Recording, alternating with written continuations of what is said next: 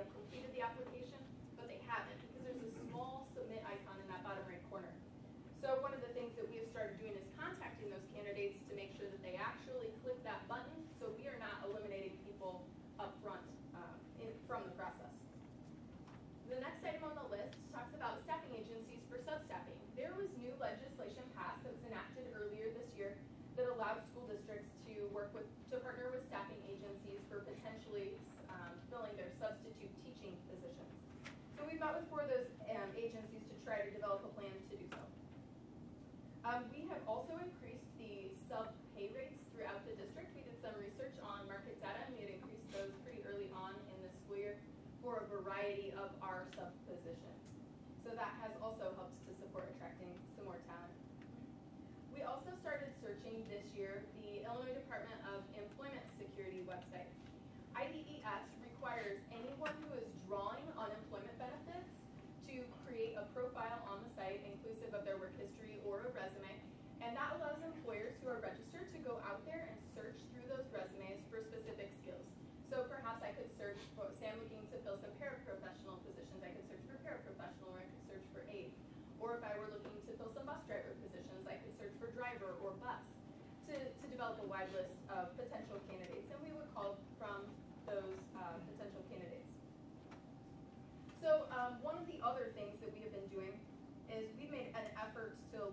job postings from the candidate perspective by making them more human and including sections from what the job looks like on a given day to how they may fit.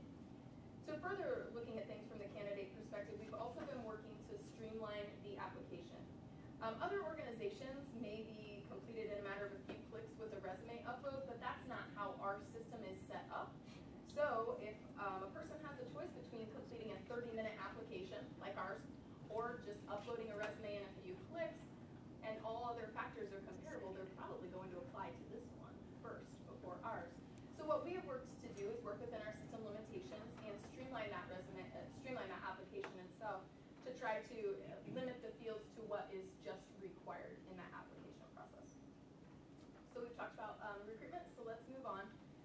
the landscape of some of our applicants.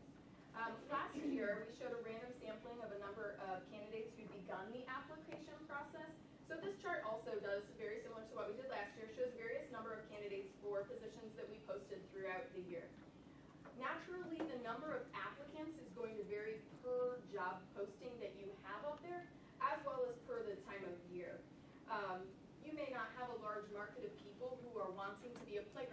supervisor for two and a half hours a day. So naturally you're going to see fewer applicants on something like that. Um, so if you look at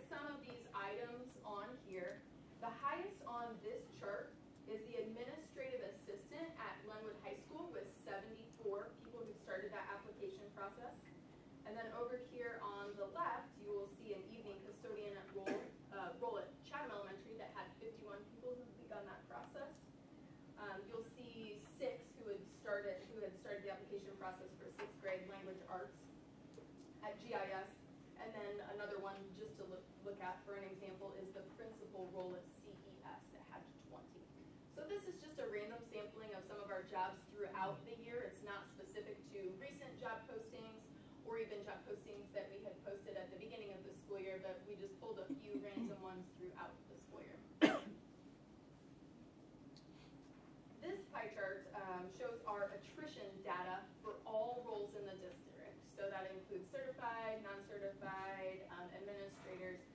um, union, non-union.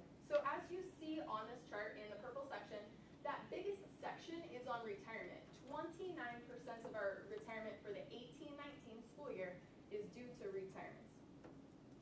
Uh, the next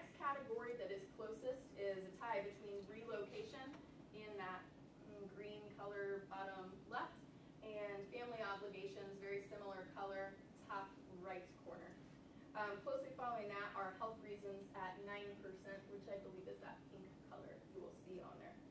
So there are other factors on here that are smaller percentages, as you see, but we tried to break it down a little bit more clearly, so we were giving a um, clear view of what, what we were seeing on here. Some of these on here, for example, you will see someone going to another line of work, that's two percent. So they're totally leaving education, they're going to do something in, uh, in a total other field. Some people, um, two percent were looking at for jobs closer to home, or three percent were needing fewer hours. So again, this is for all roles in the district, not just certified staff or ESP staff. Um, but while we are on this slide, I do want to note that the Illinois School Report Card tracks teacher retention data from year to year. And the most recent publication on teacher-specific retention data is for 17, 18, 18, 19 data is not out yet. So for 17, 18, um, Ball Chatham retention rate was 87.6%, and the state uh, is 85.2%. So we are doing better than the state.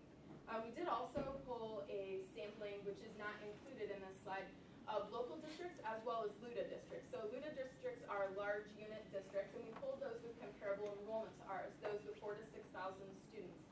And in that trend data over a five-year period, while Chatham was the only district from local districts as well as those comparable LUDA districts that has increased their retention rates year over year. Some of those other districts have increased their retention rates between one year and the next, but not consistently.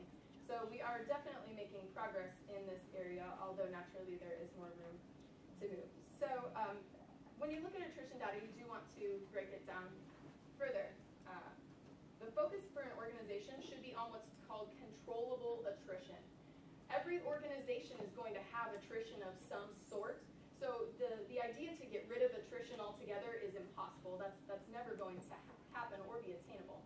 So we do want to look at attrition that is attributable to the employer and attrition that is not attributable to the employer. So if you remember from that last slide, 29% of our attrition this year was from retirements. Um, 12% due to relocation, 12% due to family obligations, and 9% due to health reasons. So obviously those are our biggest factors on there, and those numbers add up pretty quickly. So we had a total of 79% for the 18-19 school year of attrition that was not attributable to the employer. So there is 21% of attrition that is attributable to the employer. So that may include factors like um, people are needing more hours or fewer hours. They, uh, those would be factors that we would want to look at to say, is this another role we could move them into? For example, somebody needs two and a half hours. One of the things that we have done is work with transportation for a playground supervisor and say, well, they're in the middle of the day, could you use them as a bus monitor in the morning and afternoon? So some of those are things that we can look at, and some of those are things that we can look at controlling. Um, so we have started implementing the exit survey this year. Um, organizations tend to get more data when there's a degree of anonymity to that, because oftentimes people don't want to meet with you face to face to give you that feedback um, when they're on their way out. But we are able to set up appointments with employees. They're able to set those exit interviews up if they would like to have an exit interview. And as we're getting that exit survey data back, we have been setting um, exit interviews up with people if they give some some some responses to the questions that we may have concerns about or we do need to, to dig in further. So uh, this following slide is on training and learning and development, and that's a key HR functional area that supports some of our organizational development objectives. So this added some voluntary summer HR training sessions. One was the Jack Canfield Success Principles, and the other was the Family and Medical Leave Act training. While we had the GCN platform training for a couple of years, this year we sought to ensure that all employees were taking the correct courses for their roles. So we did spend some time looking at the mandatory trainings for the school district um, for employees to see if there was anything else that may be relevant to their role in the district. This year we did implement another training option, which was the Skillsoft training. Skillsoft is a pretty well-known training program. Um, they are very different than GCN. GCN's our mandatory compliance training. But Skillsoft trainings could be things like IT training for people, for Josh's um, staff in, in that, that department, dealing with difficult people in the workplace, leadership training, and, and a variety of other trainings. So they, they do have a quite a bit out there that employees can look at. There's thousands of courses. So this is beneficial because employees can volunteer Uh, but administrators can also talk to employees if they see a problem arise and assign them the training. For example, if people are having conflict in the workplace, we can assign that to, to discuss um, conflict resolution. So there are courses on there for that. The last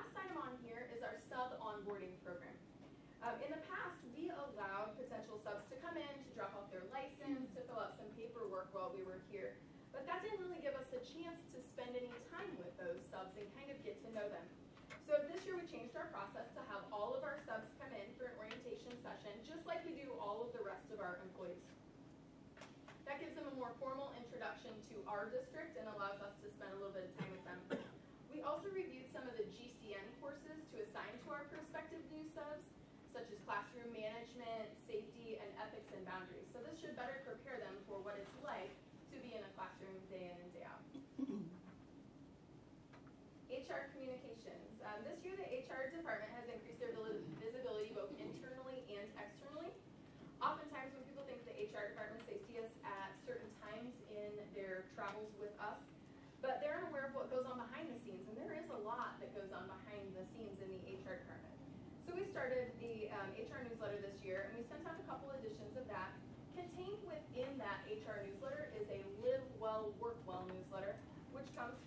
our benefit brokers.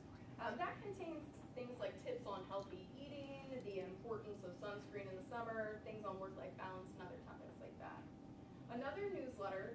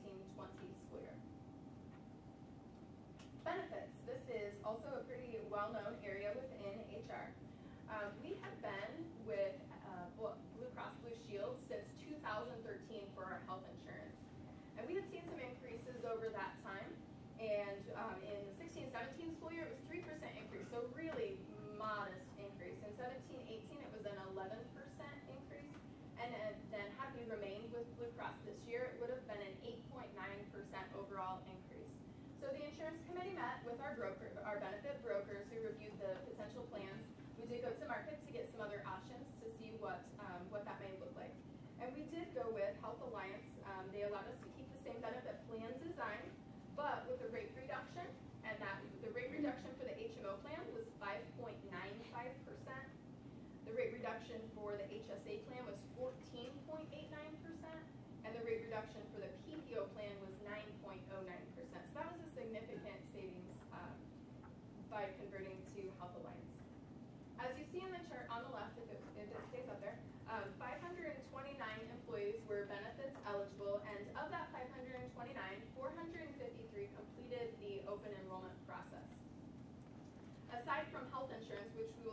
on the right in just a minute. Um, the top benefit enrollment was dental, very closely followed by vision, and then voluntary life insurance. If you look at the chart on the right, it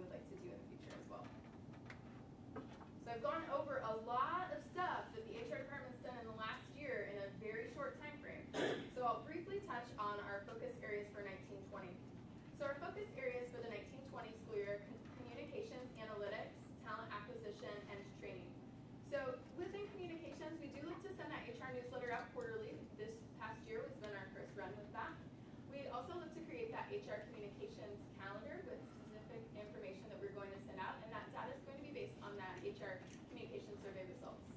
For analytics, we are wanting to include that more frequently in the HR newsletters. There's data that exists, but I think oftentimes people don't know or they don't know what to ask about. So we do look to include that more frequently and to have that more forward facing. Uh, we also want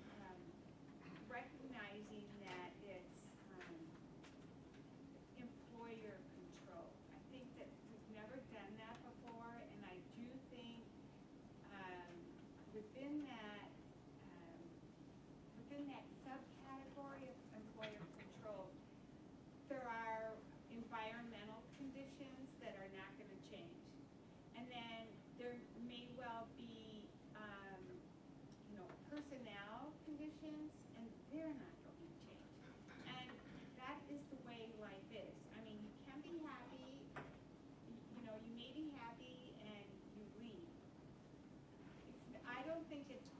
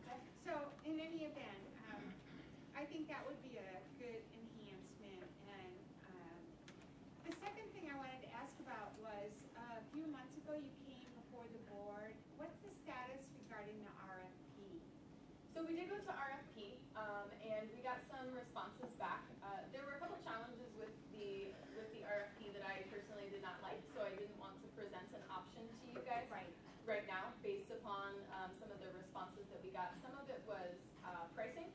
There was one that was going to be $500,000, and I just knew that that was never going to happen. Um, so, I mean, so I, I know that software is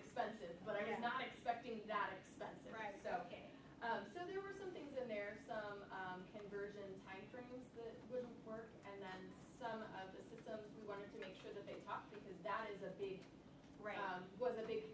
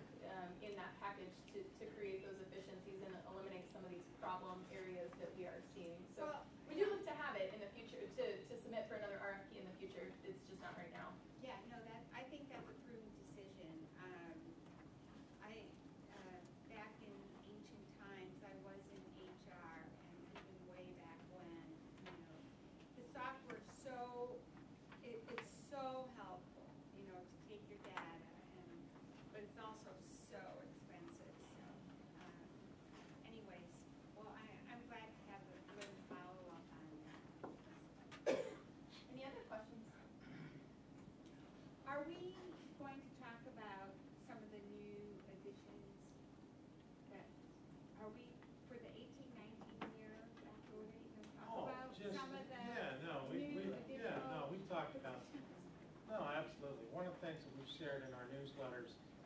And uh, I think to our HR department's point, uh, and this has been a focal point of our district.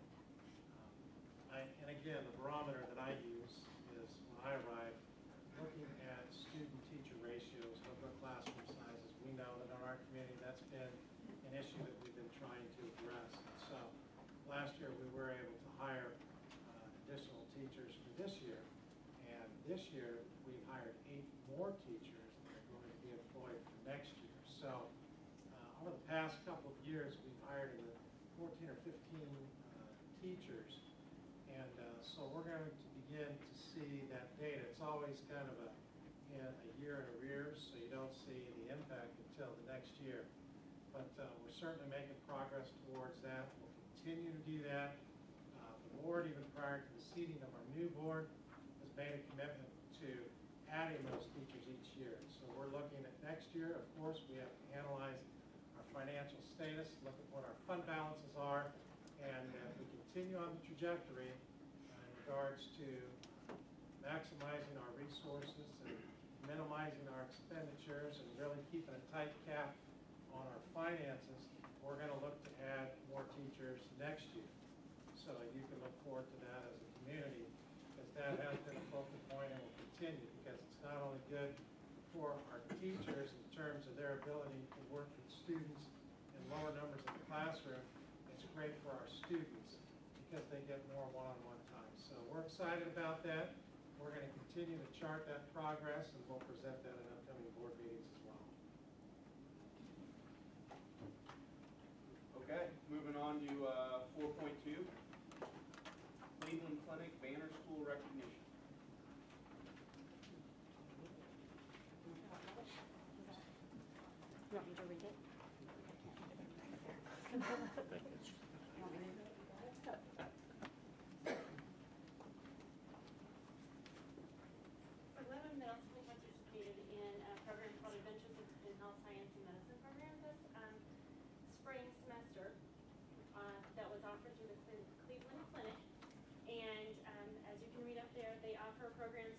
designed to promote health and wellness, academic achievement, and career preparedness for students in grades K through 12. It takes ambitious goals and encouraging administrators, though, to deliver these opportunities to students. The efforts you've invested in implementing the Adventures in Health Science and Medicine and worldwide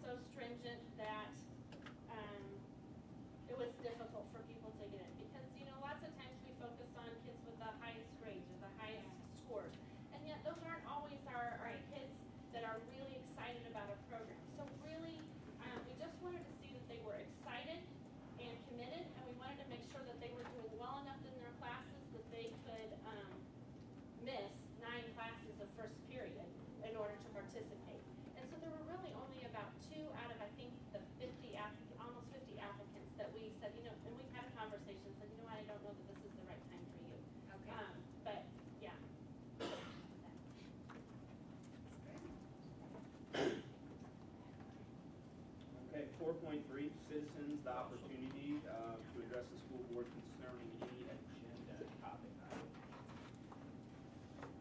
Just stand here. so I can talk about it. Sure. Um, my name is Karen Kern, and I'm a reading interventionist at Chatham Elementary School. And I would like to address you tonight regarding the benefits of the early release, um, professional learning community time. On behalf of the educators in the Ball Chatham School District, I am confident when I say that we strive to provide the best possible learning opportunities for our students. This is not something that a teacher can do alone during a planning period. In order to provide the best opportunities for our students, it is essential that our teachers receive consistent professional development, especially since we are in the implementation of a new reading curriculum and a phonology program in our elementary buildings. Early release time will also allow for collaboration time with student data analysis to determine a student's strengths and needs. As a reading interventionist, it is imperative that I have time to collaborate with classroom teachers to review a student's progress and develop a student success plan in order for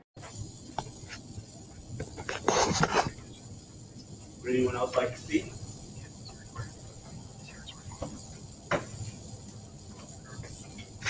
Okay.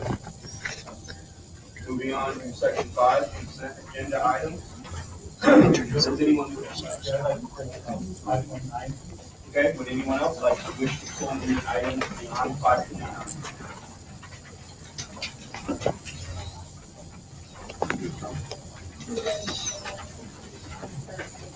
Anyone for anything beyond five point nine? You all good? Okay, so I need a, uh, motion to approve consent agenda items five dot one, five. Ashley? Brian? Yes. Worley? Yes. Barry? Yes. Maddox? Yes. Vera? Yes. Bruder? Yes. Okay, specifically moving to five point nine, Kyle? Uh, And, and spend a lot of time on this, I understand what the, uh, IASB membership is. Um, it's not exactly clear to me what the LUDA membership entails. And so, since we're gonna spend thirty-five hundred bucks on it, I wanted to ask about it. And, uh, I wanted to make sure I understood the benefits of having both memberships. The LUDA membership is a Large Unit District Association. So these are all districts that, of course, an acronym would insinuate of the larger districts. So we have workshops, trainings, uh, that, you we get, administrator, but support staff. Uh, For example, my tech director, and were training relatively soon. Uh, And, you know, the LUDA districts, not just being a larger district, but being a pre-K twelve district, we experience a lot of different things than, say, elementary, even the high school district itself. So I found it extremely valuable. I know when I attend, I know that we had uh, safety and security directors, attended, and HR, who's attended these meetings, as technology, my assistant superintendent. Uh, I even believe, Chad, did you know, that you attended, our food director, did you attend a little bit? Oh, yeah. No, you haven't. I know that Jim and transportation have, so it really offers a lot of professional opportunity for all of our directors. And am I correct in assuming that we have to be members to attend those Yes. meetings? Yes.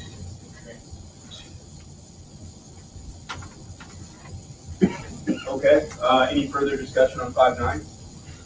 Need a motion to approve five nine? Okay. Actually. Yes. Yes. Worley. Yes. Barry. Yes, Bryant. Yes. Brewer. Yes. Okay, moving on to section six personnel consent items. Does anyone wish to pull any of those?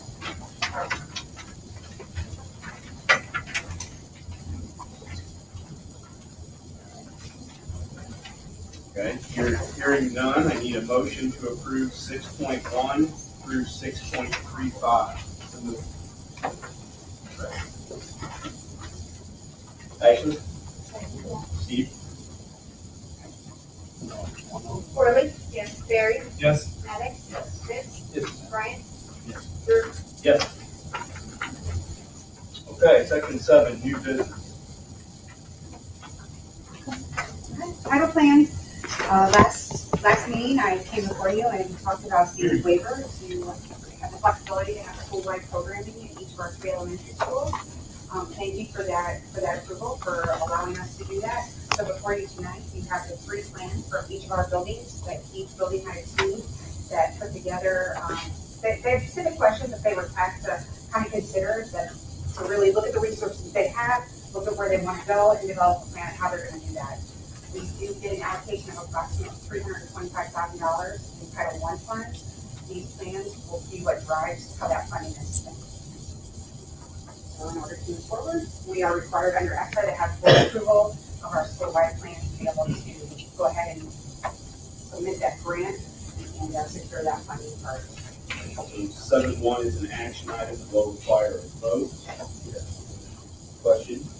Yeah, so I reviewed those plans and and you said the, the questions were from the audience plans. But what I noticed was the responses are not uniform among the plans. So I, I there was a difference between the, uh, the written responses. I guess my question is a general one, is, are, are the Title I plans materially different between the elementary schools? Or was it more of the way the responses were drafted? I think each building's team looks at things differently and, and their perception as to what their needs are at that time really drive how their plan is written. And each of our three buildings, while they are pretty, pretty similar in or except for pre-K at Ball and how they provide similar services, they are all three very unique and have different needs and they're at different points in where they're on their journey. And so So they crafted it specifically. they reviewed their data, their students, and drafted a plan to meet them. Thank you. Okay, any further, uh, discussion or questions on seven point one? I move to approve item seven point one. Ashley? Bryant. Yes. Phipps. Yes. Maddox. Yes. Worley. Yes. Barry. Yes. Brewer. Yes. Moving to seven point two, approval of a nineteen twenty school calendar. Jen, I think you're, uh, up again, right? I think I am. So, uh, we are before you tonight, uh, with a, a recommendation on behalf of, which is a joint recommendation, which really, and Carrie, you can correct me if I'm wrong, this is the first time this has been an actual formal joint recommendation on behalf of the BCEA in conjunction with the administration. While the calendar creation is bargained, and it's part of their collective bargaining agreement, we have a calendar team that works in isolation to kind of bring forward that, that calendar. The calendar you have tonight is the evolution of years of conversations. This didn't just happen overnight. This hasn't just been something that we haven't thought through. So for three years, we have been discussing where our students are at and how are we going to increase student achievement? How are we going to increase student success? Um, so I'm going to walk, take you, take a little bit and walk through how we got here, but I really want you to focus on why we are here. And Carrie said it very well, and so did some of our other speakers, and, and even our parents. We are here for our kids. That is the number one reason why we are all in this room today. We are here for our Titans, we are here for our kids, and it is about creating a culture of continuous growth for all of our kids and all of our staff. So I want you to keep that in your mind as we kind of walk through the steps of how we arrived at this calendar recommendation tonight. So for three years, as an instructional leadership team, we have been reviewing data from multiple sources. It isn't just our PARCC data, it isn't just our math data. It is some of the anecdotal data that our teachers take on a daily basis to work with students. We have conversations throughout the year to really review where are we at, where do we want to go, and how are we going to get there. We have really practiced responsive teaching, responsive leadership. That has been a major goal of ours.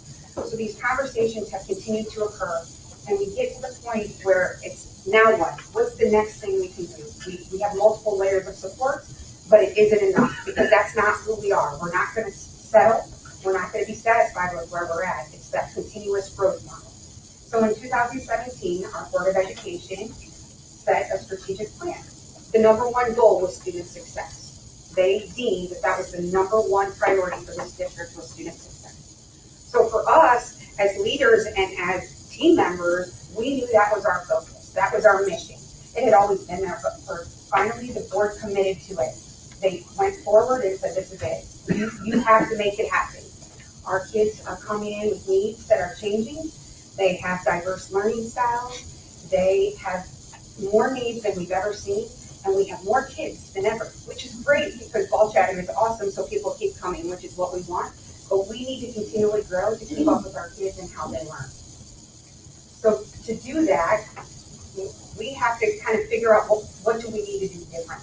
We can't keep doing what we've always done because our kids are changing. Their needs are changing. We need to continually grow so that they can continue to grow. So throughout these conversations after this strategic plan, our instructional leadership team, here's another layer. You're going to hear me say lots of layers tonight, and I apologize for the names and acronyms that we say, but our instructional leadership team, which is pri pri primarily our principals, I'm on that team, our director of technology, our director of special education, we bring in our instructional coaches. We sit at the table and we talk about the overall needs of our district because it's important that we have a district view as well as an individual building view. So in November of 2017, we created for the first time in this district a continuous improvement. And at our November meeting, our special meeting for curriculum and instruction, we presented that for approval to our Board of Education. It was a long meeting. It's probably the longest ever of the curriculum and instruction special board meeting, but it was worth it because that should be our longest meeting that we ever had because that's why we're here and our kids deserve that. So we went through a series of goals that we set in order to meet the board's number one goal of student success. We set five goals. And then as a district, we set 12 actions. We committed to 12 actions that we were going to do over a five-year period in order to meet those five goals. Because we all know it's great to set goals, but if you don't have an action plan of how you're going to get there, it's just a goal on paper. That was not what we wanted when we created this plan. We wanted a sustainable plan that was going to be implemented and followed through. That's what our kids deserve. So one of the um, actions that came forth out of that plan, which was guided from input from our current teachers, was leveraging time. That was our number two action. The action was analyze, explore, and adjust the usage, usage of time in the district, buildings, and classrooms to maximize achievement, including but not limited to start and end times, building schedule, late start, early release, block scheduling, WIN, PPH, collaboration, and professional development, etc. As a district in November 2017, our school board at that time approved this plan as one of our actions that we needed to commit to and make happen within a five-year period. At our meeting in November of 2018, when we presented again and we went through all of our data and we went through our individual school improvement plans as well as how we reflected on our district plan. At that time, I came to you again and said it's time to act on this commitment. It is time to start having the discussion. we knew it was going to be a tough one. We knew it was going to impact our families. We knew that it involved change. And anytime there's change, it's hard. But we knew that our children deserve the conversation. And so we had a choice at that time. Do we shy away and wait again, wait another year? Or is it time that we commit to it? Thankfully, we were in negotiations Some people may say it was a rough year. I say it was great. Because we learned a lot from our teachers about what our kids need we learned a lot from our staff of what they need. We heard that. They said they need time. So this recommendation is a joint effort from both the VCA and the administration. After negotiations ended, we formed a leveraging time committee. Yet again, another layer of involvement. Again, we have our calendar committee, which involves a certain set of people, our instructional leadership team, our Board of Education. Now we added another layer, our leveraging time committee. I want to thank those people because several of them are here tonight because they committed to, we had four meetings in a quick time frame, but we had a lot of conversation virtually because that's, you use technology to your advantage. So we were able to accomplish a lot that way. Joanne Bose represented Ball Elementary. Terry Pack as the president of the BCEA. Erin Kern represented Chatham Elementary. Sarah Slot represented Glenwood Elementary. Mike Cohen, Glenwood Intermediate School. Ashley Welch, Glenwood Middle School. Amanda Johnson, Glenwood High School. Dr. Wood, Betsy Schroeder as our Director of Communications. Trisha Burke and Elizabeth Gregorich represented our principal team. And then we pulled in some parents from our community because the point of this team was making sure that we looked at all angles. We tried to explore as many options as we could so that we found the option that was best for our kids. So I'd like to thank Dave Kinsey, our mayor, who's kind of hiding in the back, actively participated and brought great knowledge to our team. Kenia Saroff, Kelly Settlemeyer, and Dawn Homer. Again, we tried to pick some parents that represented different age groups, had some different needs. Dawn shared already about her size and special needs. We knew that was going to be a concern. We wanted to make sure they were at the table.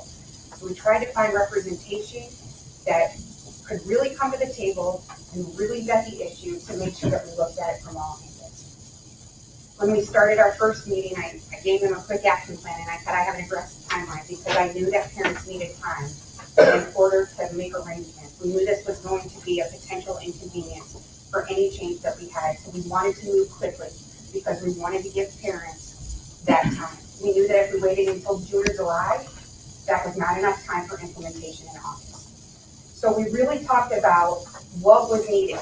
What could we do to improve student learning? We did not talk about what was best for our teachers. We did not talk about what was best for adults. We focused on what was best for student learning. Those conversations were really, really amazing, and you can kind of see the posters that are hung up in my office. But overall, the team decided the focus was to create a sustainable culture of growth for our staff and students. That is our goal. In order to improve student learning, we needed to provide, we looked at research, John Hattie, we looked at a lot of it. And that was in the communication that we sent to families. I'm going to touch on that a little bit because I do want to address some of that. But we did look at research and we looked at what um, what different strategies or practices have the highest effect on student learning? The number one, after 1,200 meta-analysis, is teacher efficacy. Teacher efficacy is, is teachers believing they can do it, that they feel confident, that they know that they have the tools in order to do it. They have a shared belief in action. That is the number one impact, positive impact on student achievement. In addition, we learned that consistent peer-to-peer learning was important the sit and once a month in three hour segments wasn't sustainable. It didn't keep the conversation going. It's that ongoing conversation with the teacher down the hall. Because we have amazing teachers in this district that have a lot to share and we need to utilize them. We really need to tap into them. We also had a conversation about professional learning versus professional development. Professional development is that training. Now we are required, as Ashley shared, there are certain trainings that school code mandates that we do.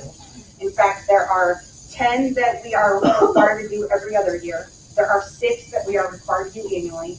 There is one that we are required to do just one time upon hire, and there is another one that we are required to do every five years.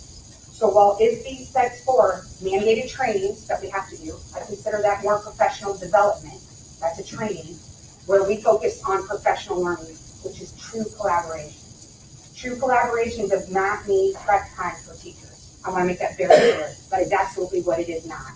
Collaboration is looking at data, and, and just as some of our teachers shared, it really is analyzing the strengths and weaknesses that our students are seeing, really coming, looking at your instructional practice and adjusting that practice based on the data that you had.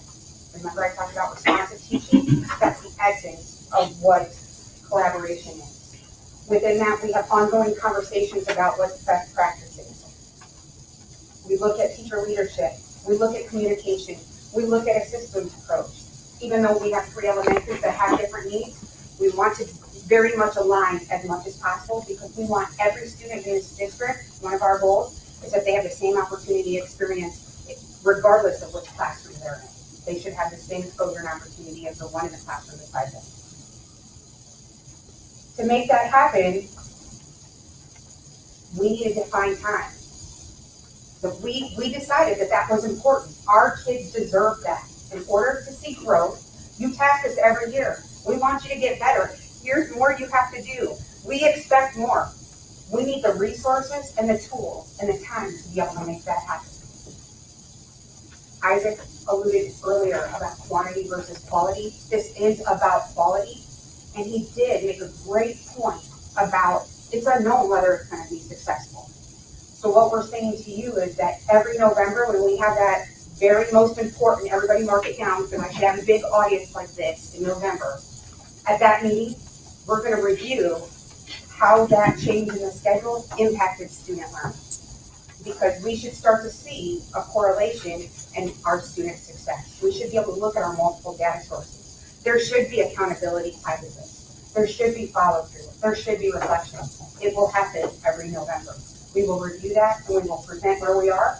And just as much as I'm, we task our teachers to be responsive teaching, we will be responsive leaders. And if this isn't working, we aren't, we're going to go back to the drawing board and figure out what now can we do differently to improve student learning because that's why we're here is that continuous culture of growth. When our committee met, we met four times in person. Again, we had lots of conversations virtually. We surveyed all of our staff April 18th. Ashley, how many employees we have? Over 600? Mm-hmm. Over 600 people received our survey because we went to them and we said, what potential obstacles or challenges could a change like this present our kids and our families? Because our team wanted to listen to everything and make sure that we could problem solve as many as we could. We received 72 responses to our survey, so not a great response rate, but it did say the number one theme that came through was a concern with childcare. That was brought to us from our staff, the concern of the financial impact as well as the potential schedule impact to families. We reviewed that as a team. We talked through several things. We talked about the different ways that you could find childcare. We talked about our athletes. Dusty Burke, I think, was gonna strangle me at one point because I kept asking for more data. I wanted to know by season the number of athletes we had involved. I wanted to know the grades of them to see how many of them drive because I wanted to make sure that if we went to an early release model, that our students who needed to be there in one hour for a practice did not have to go home and we inconvenience our parents again to drive them back. We wanted to see if we had staff available to supervise them and then also provide them with an academic study table. So that allows them to get a head start on their homework before they go to practice. So maybe they don't have as much homework after practice when they're worn out and tired and hungry. So Dusty gave me a lot of information. We looked at teacher attendance data as we walked through different options to see if there were different days of the week where teachers were were absent more than others because we wanted to make a decision in which our teachers were going to be there because we wanted all of our teachers there. We did not want our coaches gone at, at practice. We wanted our teachers there because they were. We looked at that data. We then looked at student data because we wanted to see was there a different day of the week where maybe students miss a lot. To see maybe that could be the day that we make a change in their schedule. Was there a day of the week where our sports teams are leaving or have contact and have to leave school early? We looked at that. Our student attendance data didn't really, there was no clear cut, it was pretty consistent between how One of the other options we looked at was we thought about our students who attend CACC, FCLA, Safe Schools, SASED, Hope. We have several students who are Glenwood students who are serviced by outside entities. So we wanted to make sure that they weren't impacted by lack of services they received. CACC, actually Dr. Wood had a conversation on our behalf it actually worked out for the better because we found out they really, our students have been going in the afternoon. They really wanted our students in the morning. Well, that was, that was a great thing. So there are three programs that they can only offer in the afternoon, and we have seven students that will be impacted by that that we were unable to move to the morning. We had a long conversation with transportation, a really meeting of the minds, because we wanted to make sure that transportation could make this happen, because there, there are a lot of moving pieces when you make a major decision and recommendation like this. Mr. Lovelace, we talked through a lot of different options. We really talked about pre-K, because the timing of our pre-K program really could impact transportation.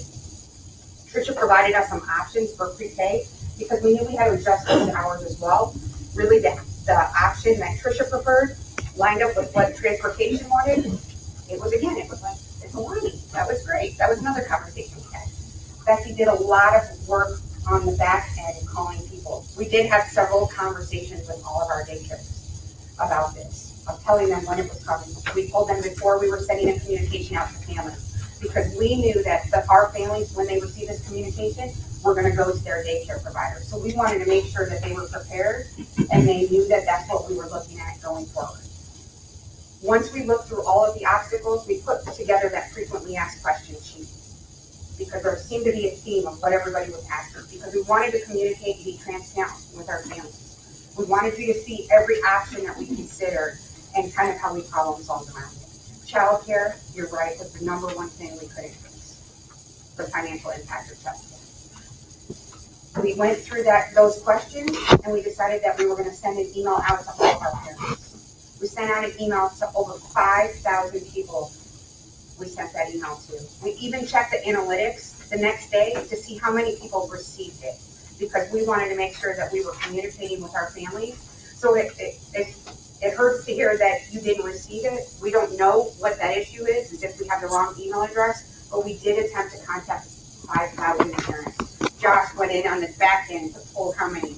And while we sent out over five thousand, we think about four thousand actually landed to the people we did. So knowing that we had, so then we looked at the number of students we have and how many families have multiple students in the district to try to see if we hit as many, every family. So we tried to whittle it down because while we have four, forty-eight hundred students, we don't have 48 eh, fam- 4,800 families. And Josh was, we really, didn't we?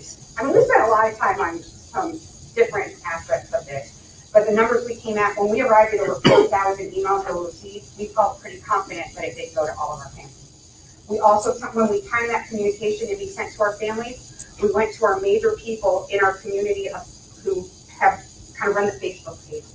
We asked them to post the exact communication that we sent to families onto their social media platform. Because we were looking for as many different ways that we could get this information out to our families and get input from them. We received forty-seven emails in response to the communication that was sent on Facebook. Of those forty-seven emails that we received, twenty-nine noted, please no, don't vote for that. And that can be broken up into this way. Um, four were concerned about the loss of instructional time. That's one concern. Twelve were concerned about the inconvenience to their family schedule, and twelve were concerned about the financial impact of childcare. My number's not equal to twenty-nine right there. Um, so it's twenty, so yes, we have to go back and get um, but, um, this week, we did receive an additional five emails once the board agenda was posted. All five were against this because of the issue of childcare. So in total, we received fifty-two emails that were sent to us. Of those fifty-two, we did receive ten that were very positive and said, we support this change, please do this. SIP days are very difficult for our families to staff. For them, they, they mentioned that it was hard to get childcare for the four hours of the day versus one hour every Wednesday. They also wanted it to align with one eighty-six. We did have questions about why are you keeping days if you're doing this, because there is a loss of twenty-two instructional hours. We need SIP days because we need more than an hour. As I talked about the mandated trainings, there are other trainings, crisis prevention is a three-hour refresher that is required every other year. There are also, when you take that initial training, it is a seven-hour training. We cannot get all of our required trainings that take longer than an hour on the four institute days that we have. We looked at that. Could we do it? Could we reduce the SIP days? Our team felt, and we talked about this, as a whole with our parents, that we're very transparent, felt that the quality of the instruction and the rigor of the instruction that our kids are gonna, going to gain from this and the impact it's gonna have on student achievement was worth keeping the four school improvement days, that we still needed that time. So we knew going in, it was not going to be a swap of an even trade in time. We knew there was gonna be a loss of instructional time. We feel that the benefit to student learning will outweigh that, those twenty-two hours. We are committing to accountability for that. It will be guided and prescribed. Our principals are going to training this summer of how best to utilize that time and have the most effective system. And we will report out annually on the impact on students and just make changes if necessary. All I. Um, any questions or the board?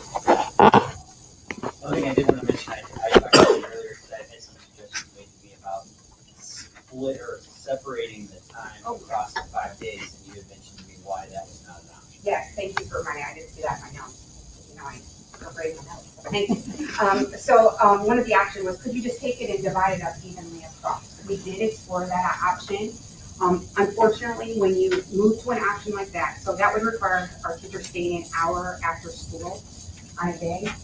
That would only afford us twenty minutes of overlap between our buildings that have staggered times. The model that we selected gains us a minimum of forty minutes each week for our teachers to be able to work together across buildings. That affords us vertical conversations, that also allows some consistency conversations between our three elementary. We did also look at a late start versus early release, because I did get two emails from high school students. I don't think, it one of them, it I don't know that, but I did get two students asking me to keep a late start because they like the extra time on Monday coming off the weekend, it's hard to get back in the group. Um, so we did discuss that, but our daycares, for all of our families that were already there, could not accommodate that, the, um, late start. They could accommodate the early release. So we quickly moved to the early release model at that point, when the daycare said there was no way they could accommodate that at all for me. Did I answer that question? Well, I personally am thrilled about the uh, reduction in number of SIP days. I have four kids, I've talked to them uh, in the past, come home early from the half day, well, what did you do today? And I, it, it just seems to me that, that the instructional time they get in a a morning is very limited. Um, So I think it's a a positive uh, going forward to um, eliminate four of the, the SIP days. Um, I, I am a little concerned about the, uh, reducing the instruct, in-class instructional time because it's not, it's a net negative in that uh, every Wednesday. And frankly, as I had told uh, I, I didn't realize it was going to be, uh, every Wednesday until this week when I looked at the calendar, because that was the first time I'd seen the calendar.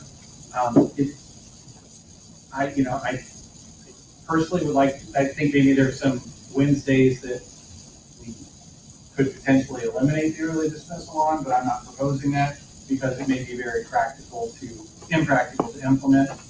Uh, so, I, I mean, I, uh, I, uh, appreciate the excitement that you've shown and, and the committee show, has shown about it. Uh, and I think it's uh, a net positive policy going forward. I am quite concerned about the collateral effects on uh, families who are working and, and uh, haven't nailed down access to childcare. I, can- I, I mean, I didn't learn until this week again about the cost uh, of childcare. That that gives me uh, some serious pause. Um, I think uh, someone, whether it's the board or the administration, needs to work harder to um, identify options that are, are more like what uh, the options available at 186, if, if that's if that's accurate, to seven dollars, seven fifty a, day. Uh, and I think they also may have uh, the option of uh, requesting a waiver for low-income folks. Uh, so I am concerned about the collateral effects, and you know, in weighing the uh, the, uh, the policy versus those effects. Though I don't know that uh, collateral effects should stop the implementation of a good policy, though. Uh, one final thing, I, one final thing I'd like to say is that, you know, I, I'm a new board member. I'm reading a lot of stuff, getting up to speed. Okay? And we, have some uh, information we've been provided. One of the enumerated uh, jobs of the school board is to adopt the school calendar. So I don't quite understand the committee structure yet. I don't think the committee that set this up was a board committee. I don't think the calendar committee is a, is a board committee. But I personally think that, uh, uh, uh, at least one board member ought to be participating in these committees going forward, and I would volunteer to, to at least participate in the calendar committee going forward, because I do think we need to, uh, monitor the effectiveness we uh, vote in favor of this policy. Thanks for a very good presentation. And in fact, how, I had sat on the calendar so, I mean, you, you all can work that out, but that was at one time going, the going, what we did. Well, I, um, would like to say something, um, I've been on the board I've been the BCEA negotiations. This is the third time that I've sat, that I've, you know, been a board member. And Jen is exactly right, that, um, it's very hard to brainstorm and collaborate in twenty minutes. Um, but I think it's important to know that the teachers, represented by the BCEA officers, know the commitment that's required of them, and, and they know it beforehand, and they are confident that, uh, this will feed to the betterment of children's education. And the administration through its research, which I've looked at, also feels that way. So I say, uh, we need study, we need to try this out. And as Jen says, everyone's accountable, absolutely everyone. So, and that includes the board, the administration, and the teachers. So I say it was a tremendous amount of work. It's been a long-standing issue, and I think cases all will look at this in the long term. I have had a question unrelated to the early one, which I'm sure you will. Um, and then I have some comments. But as I was comparing the 2019-20 schedule to last year's schedule, I noticed that the 18-19 year, the calendar assumes in the layout that we have used four emergency days and then get to the, uh, days. And then the 19-20 calendar coming up, assumes a school ending date if we use no facility. Is there a reason for the change in, in those assumptions? It's probably, I mean, it'll work the same way. We have to add those five emergency days and Yes, so, we automatically have to. I see, okay.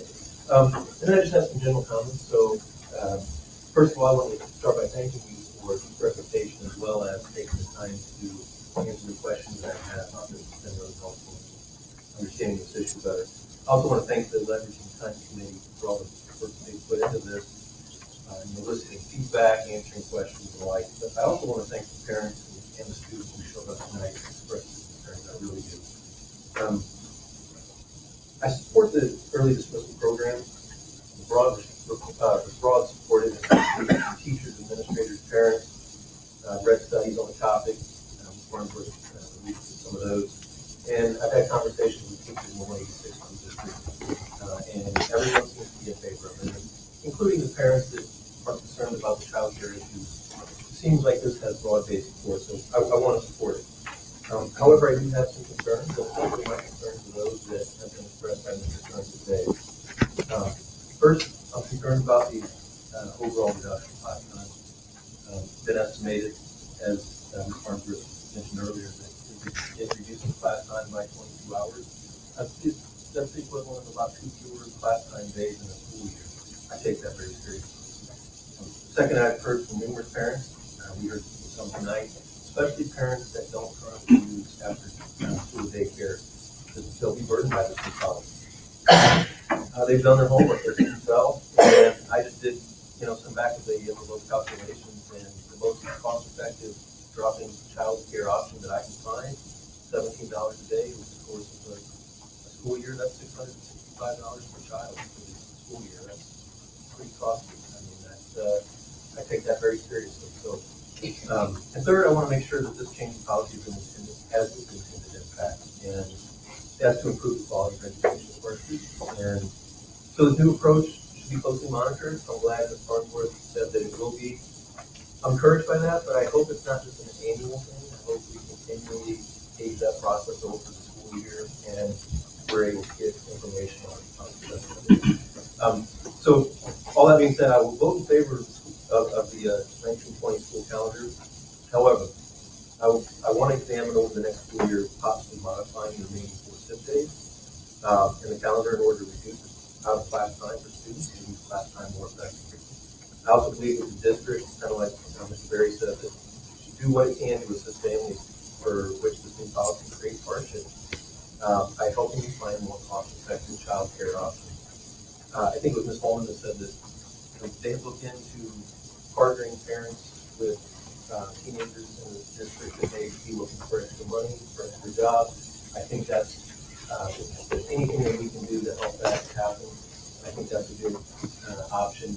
We need to be creative, like we said before, but I really, I want you to know the bottom line is that I've heard your concerns, I didn't take them seriously, and I did not take, you know, this this And third, over the upcoming school year, I was I'll be seeking information on the which will probably be successful, not just in that annual review. And, uh, I'll be open to making modifications for the twenty twenty-one school year. So. I appreciate everybody coming out and sending an email. Um, I know it's a huge impact on everybody. Um, I have a student in the, in the, in the schools as well, it impacts everybody. Um, I just have a few questions. Um, I understand the hours are gonna be taken away overall, but individually, how much time is gonna be cut off of this class? So that will be at the building level, they're looking at that, because they wanna make sure that it isn't one content area that is cut. We already run a similar schedule at the high school now with the late start Mondays, and each period is shortened by Seven minutes, I believe. seven minutes. Um, Elizabeth, Tricia, can you share maybe what you've looked for for the calendars in your buildings?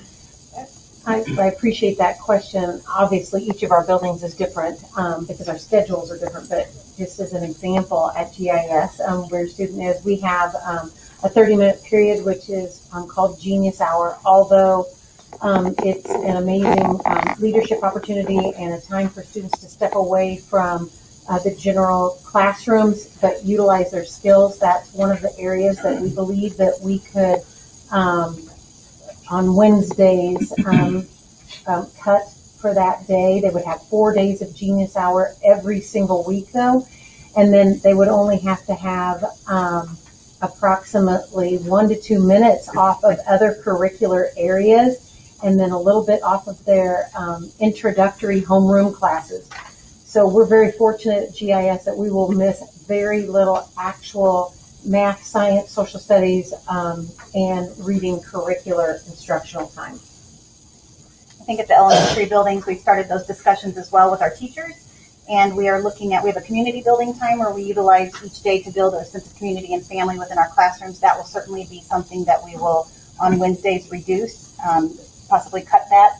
And then we're looking at cutting very little our ELA and math time and, and finding other places within the day to, to cut as well.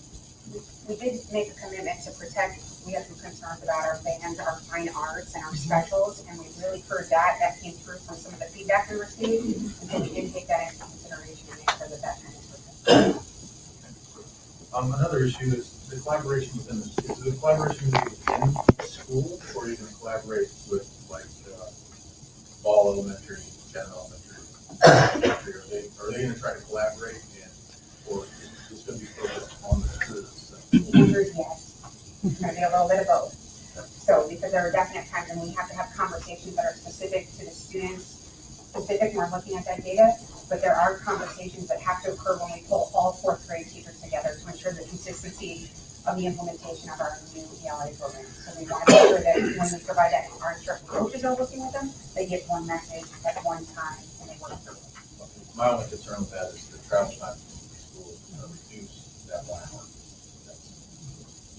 I know, we, we wish we could have all six on the same schedule.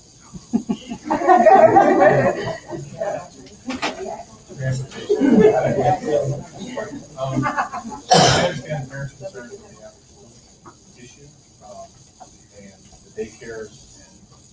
Have called and done their research and their homework as well.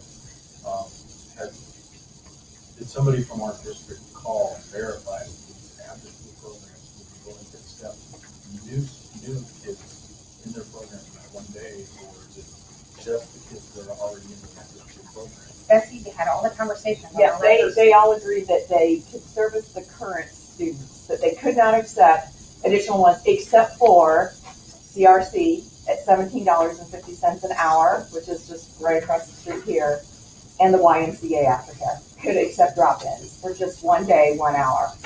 They confirmed that they could do that. And the and they said the one day daily rate, I know you had said that you thought it was for two days, they told us. They told us it was one day. One day, They didn't call us back on the website for the two days.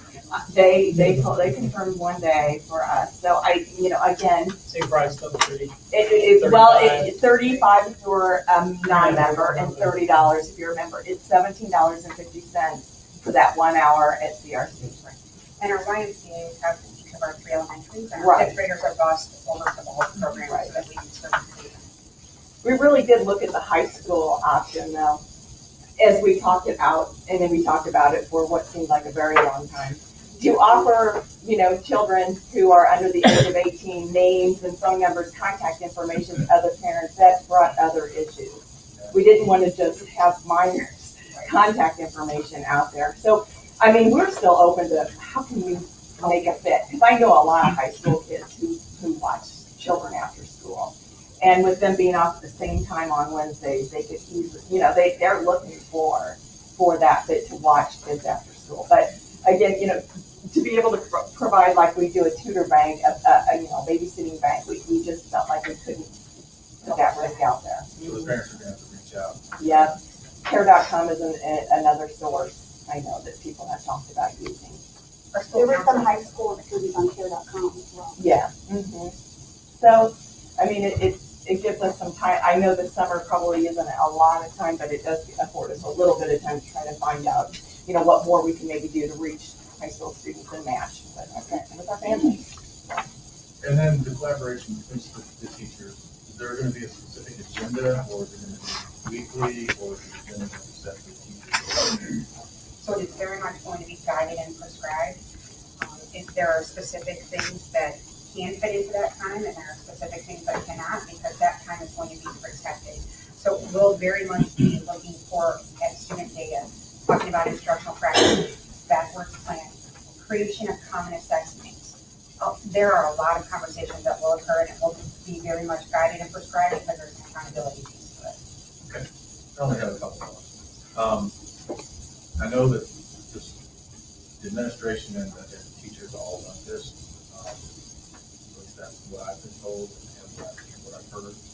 Um, are the teachers gonna be mandated to be involved in this, or are they going to be able to opt out? No, when, when, um, Mr. Kern talked about their contractual hours, this is part of their contractual time.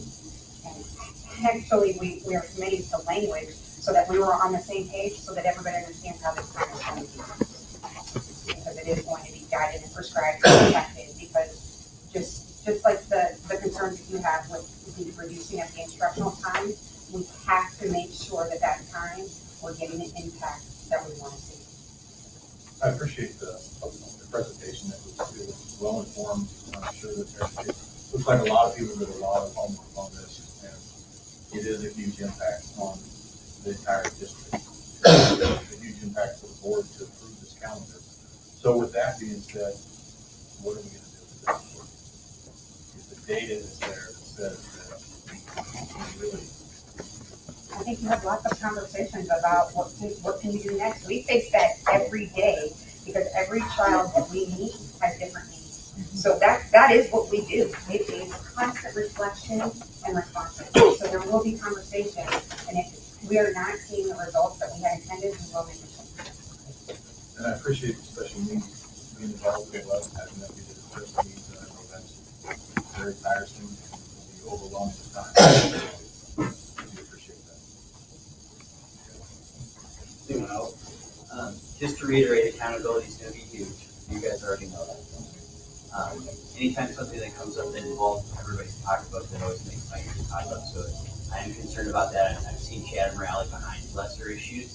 So I think there's a lot of opportunity out there for our community groups, churches, things like that, to try to find some options to help our parents and their members come with ideas here. Um, but it's, I've heard it for longer than three years, um, from people, so it's definitely something I see the benefit in. Um, kudos to you guys. What sucks about this job is somebody is always mad. So, um, in my crash course over the last few days of getting information, especially since I missed last meeting, you guys really have done one of the best jobs at making the least negative impact possible, I think, to the community, so.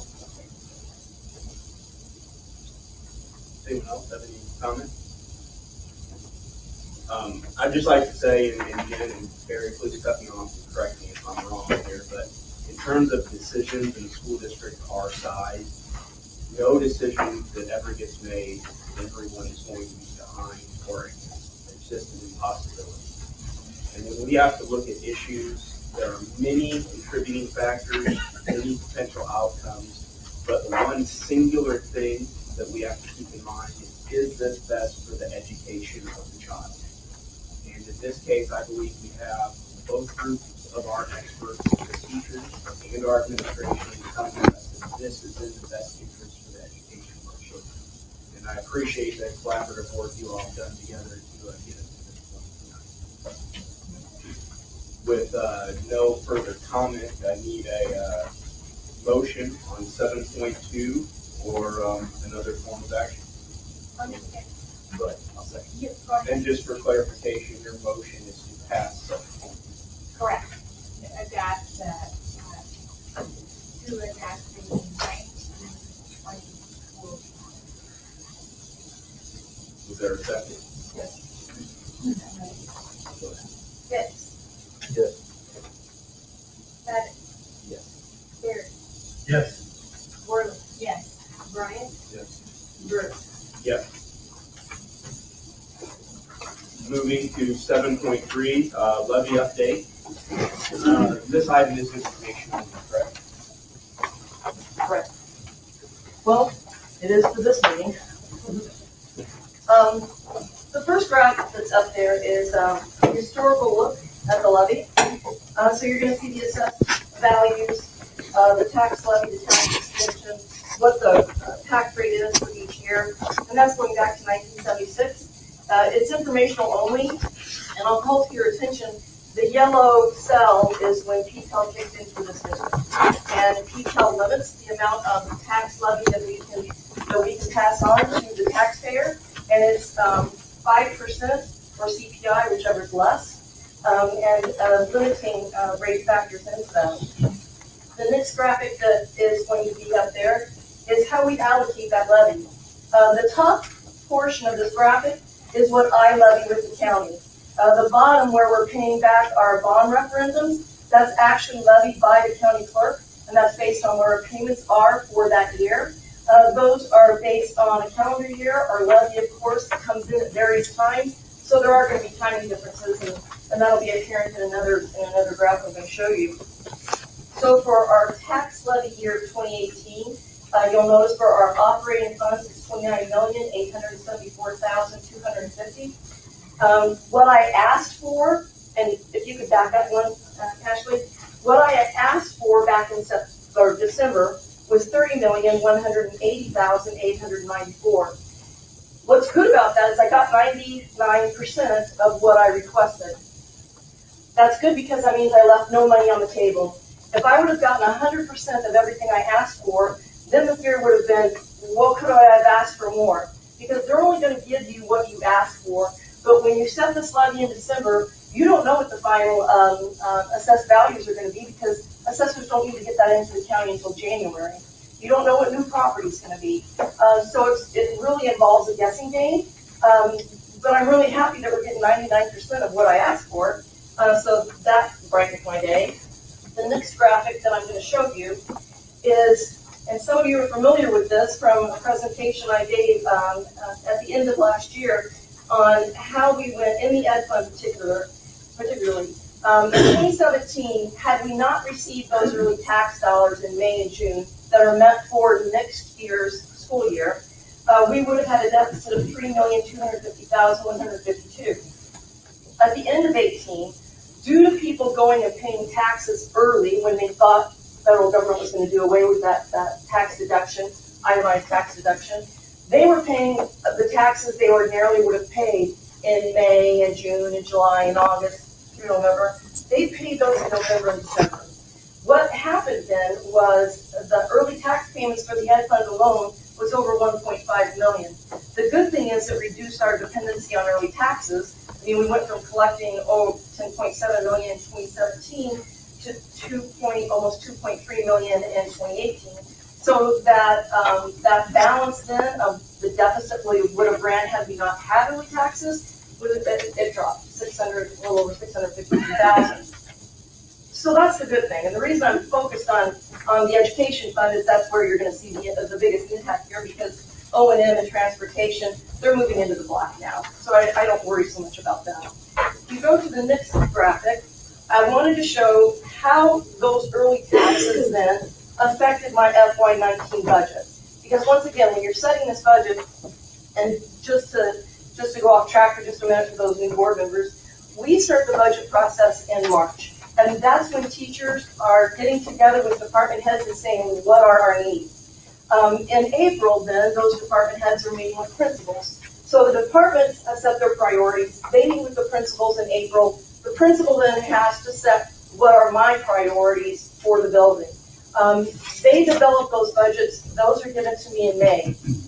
As CSBO, I look at those budgets, and it's like, okay, well, what? How am I going to prioritize across all the schools? Because there's there's competition there for the same dollars. And how are we going to set those priorities? And I work with Dr. Wood um, in order to, to gauge, you know, where, where we want our emphasis to be this year. Um, all of that takes place before we know what enrollment is going to be. Do we need to add new classes for a particular school because of higher enrollments? Um, are, are we going to have teachers leaving and other teachers coming on uh, who with different skill sets, different salary levels, different benefit levels? Um, so when I'm actually setting this budget to be uploaded by August 1, the beginning of school, there's just so many unknowns. Uh, so that's what makes this process so important. We're always going to have to amend this budget because there's too much guessing involved during the year to make it work.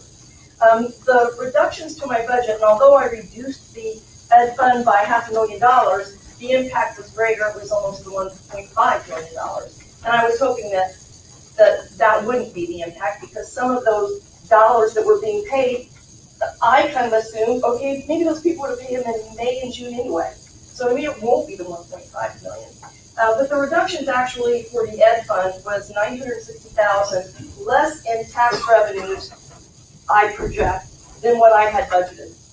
And once again, I, there's a little bit of guesswork in here because I'm basing that on what am I going to get in May and June that's going to impact this year's revenues. Well, you're guessing again because I don't know when people are going to pay their taxes. Historically, it's 52% for us, but across the state, it's 48%. I'm hoping this year, 50% of next year decide to be in May and June again. Um, but that's an unknown. And the, the other funds then was less of an impact, uh, but the full impact for all funds was over 1.5 million. So how do we address the shortfall in the ed fund of $960,000? Um, I, I want to say I had a lot of cooperation uh, with department heads and principals. We really sharpened our pencils and uh, how can we, how can we make this work. And so at the top is, uh, if you go to the next graph, actually, at the top is the original budget um, that I had created. At the bottom is the amended budget that I am presenting as information uh, to the board tonight only. You will set the public hearing date at tonight's meeting um, for that public hearing to be set at the next board meeting, which will be June 27th. That leaves the community 30 days in order to come in and, and do that amended budget if they so wish. So the ed fund, you'll notice, is, is going to run a deficit of 336,361. But that's not really truly a deficit because I collected those monies. We're cash basis taxpayer. I just collected them last year in November and December, so it fell in FY18 revenues which made us look so much better in our historical need on those early tax dollars. That's why it dropped to 653,000. And I'm really happy with that $336,000 deficit. That could have been so much higher because as you recall from the previous slide, we were nine hundred and sixty short in revenues. And a lot of this can be directly attributable to a fifty-four percent increase in one of our special ed providers. And they didn't notify us of this increase until January, and they made it retroactive to August first. So that budgeted line item went from nine hundred thousand to one point two million dollars. And there was no way any of us knew that that was coming. So that was definitely a block, blindside. When you look at the O and M fund, I thought it was really important for, uh, us to segregate out the excess bond proceeds. They're in the O and M fund now, uh, but what would the O and fund look like if you removed those dollars? And so we had, um, we've got estimated expenditures of two point eight million. I don't think Mike is gonna spend that. It's just what's in the budget. And, um, the timing of when certain bills comes in is always up in the air. It doesn't hurt to throw it in there. Um, that way, if a miracle occurs, you get it all done this year, we're, we're good. Um, because I can't spend money in a budget that I haven't put before ISB. I can spend less money. I can't spend more money. And there's an error on this graph because the increase or decrease in that fund balance actually should, an O and M should be a 147,000 some odd dollars. Um, the next fund is the debt service fund. And if you remember, I was gonna come back to this because, uh, the county sets the levies on these. So when you see the negative hundred and ninety-nine, five hundred and forty, the money sitting there is just in the fund balance. We collected those monies to make those payments last year. Um, a lot of the other funds look really good. Um, I wanna, I wanna point out that we have stopped levying for life, health, and, and safety. And one of the reasons we've done that is because in order to spend that money, uh, ISB has to approve it, ROE has to approve it, and when we had to redo the front of Chatham Elementary School, for security reasons, um, that project got denied for us to use Fund ninety monies for. Um, because it changed the, the square footage of the entrance. And that knocked out, even though the primary purpose of that construction was totally security. So why levy in ninety when I can throw that money and levy it in O and we don't have to jump through those hoops? Um, so that's when you see the hundred and thirty-nine thousand dollar deficit there. Our intention is to spend down those monies as those projects that the ROE and state board deems a fit that we can spend out of that fund. Um, so that is the amended budget. Um, and I would ask that you set the public hearing then for that, for that, uh, next board meeting. Everybody get that? Any, uh, questions, comments, or concerns from the board? From one accountant to another, that was a super, uh, very, deep- it was a super, uh, discussion because there's so much going on there, but a very good job. I mean, the second section is that Sean was really good at the numbers and understanding the levying process, which is really important. So thank you. Thank you. Okay, that was informational. Do we need to, actually, do we need not set the date? You do need to set the date tonight for that public hearing. Yeah. But, I mean, do do we have that embedded in the meeting dates, or do we need to take action on that right now? I think we need a motion, don't we, Charlotte? Yes. Well, just to be safe, let's make a motion to set the public hearing, or could I have a motion to set the public hearing date for the next board meeting, which is June twenty-seventh. second, actually? Worley? Yes. Brian? Yes. Mary? Yes. Maddox? Yes. Yes. Brewer? Yes. Okay, seven point four, paper bid result. The paper bid is a routine bid that we go out for every single year. Uh, this year, we had three bidders that bid on it. Um, Liberty was actually the lowest bidder by hundred and twelve dollars for the year. Um, they are a company that's located in Los Angeles, California. Contract Paper Group is in Ohio. They were hundred and twelve dollars more for the year. Our recommendation is to go with Contract Paper Group for the primary reason, um, $112 is, is not anything when you're spending $40,000 on paper in a year's time. And um, this company got the bid last year, and their product is superb. Uh, the company we had before, because of the humidity that occurs where we store our paper during summer months, uh, we were having paper jams across the district. And, and, I don't know, probably fifty percent of our, our copiers were experiencing these paper jams. To my knowledge, we've not had any of that with contract paper. So I'm not inclined to wanna gamble with another company when I know that this company really produces a good product and the difference in those bids are only hundred and twelve dollars. So it's my recommendation that the board approve contract paper group. I have a quick question. Part of my process of getting up to speed, I was looking at some of the school board statutes, and I don't know if this one applies, but it's, uh, section five slash ten dash twenty dot nineteen C of the school code, and it, uh, it refers to recycled paper and paper products. Is, are we in compliance We're with that? compliant. Got it. Thank you. I'll make that motion. Ashley? Pitts? Yes. Maddox? Yes. Terry? Yes. Worley? Yes. Bryant? Yes. Brewer? Yes. All right, seven twenty-five. Pizza bed. It's our recommendation to, um, go with Little Italy for our pizza bid. They were the lowest, each, each pizza pricing, they were the lowest. Um, with Domino's, Little Italy, Little Italy and Pizza Hut the bid.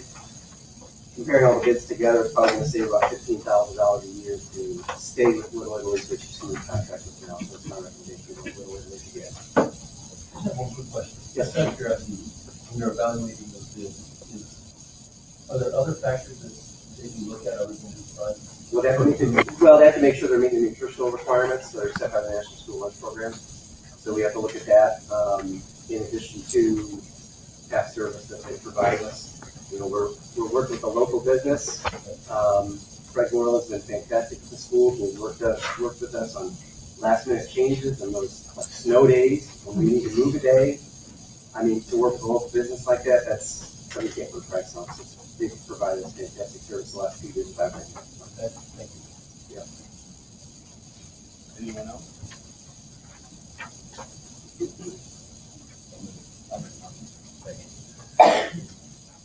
Okay. Maddox? Terry? Yes. Pitts? Yes. Worley? Yes. Bryant? Yes. Brewer? Yes.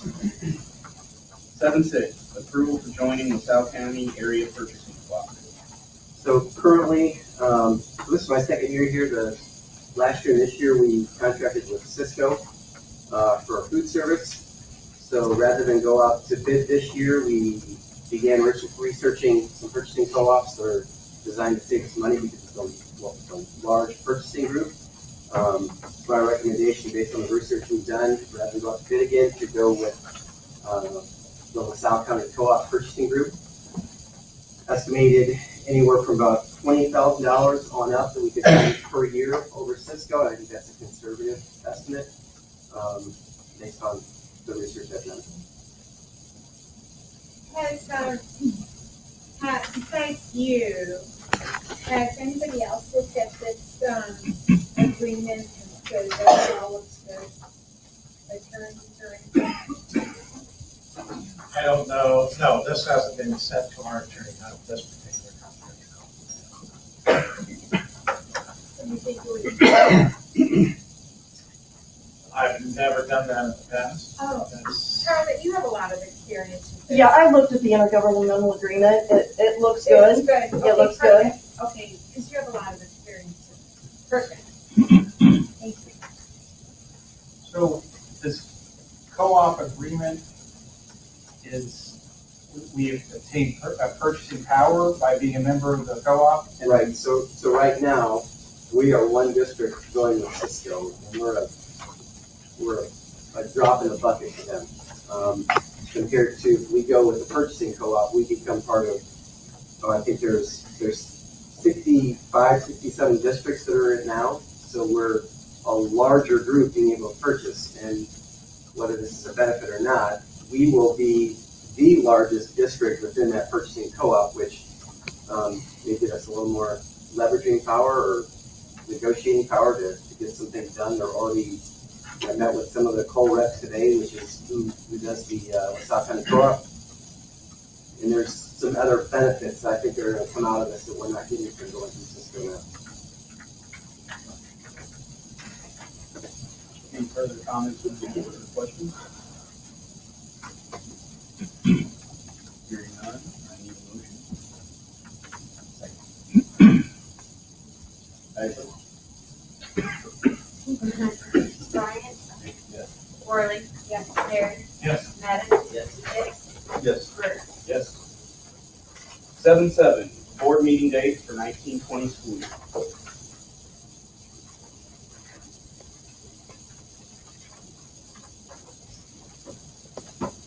Any, uh, points of discussion or comment from the board on this item? Move to approve the meeting dates. Ashley? Hicks? Yes. Hicks? Yes. Harry? Yes. Bryant? Yes. Worley? Yes. Bruder? Yes. All right, seven eight, first reading press policy, February, March twenty nineteen. This is information only, correct? I, um, with, there's one, uh, policy. Uh, there's one policy that's on page, uh, I'll tell you which one it is. It's, uh, when school is in session, um, the principal, the HR director, and the superintendent, and when it's not in session, here it is, it's five point three three zero. Okay, the only reason why I'm asking you to, um, look at exactly what it's, when it's in session, your name is included. When it's not in session, your name is excluded. And That's on page four. So it just didn't make any sense. Look into. Yeah, well, look, I mean, I don't know why your name would be excluded, so. It maybe, maybe press me mistake, but in any event, it make, it makes sense to add your name, even if you So I, I printed out all the board, well, policies at least for the, uh, the board. These are all new policies that we're adding. No, these are edited, some are edited and some are new, but they're from. Which press, uh, is, it's the IASB, uh, you know, our school board association. They have a host of lawyers in-house file. They put together all of these policies. We're a member, we subscribe to press, which is really cheap, so that all the changes in the school code, policies are changed to reflect the current school code. So some of these policies haven't been changed for years and years. Some have been changed multiple times within the last five years, and that's how it works. Sometimes it's better just leave the reference.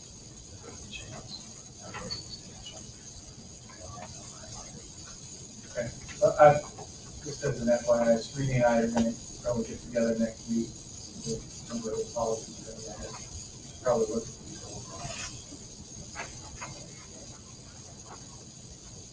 Okay, that was information only, so moving on to, uh, section eight, old business. Eight point one, purchase of band uniforms.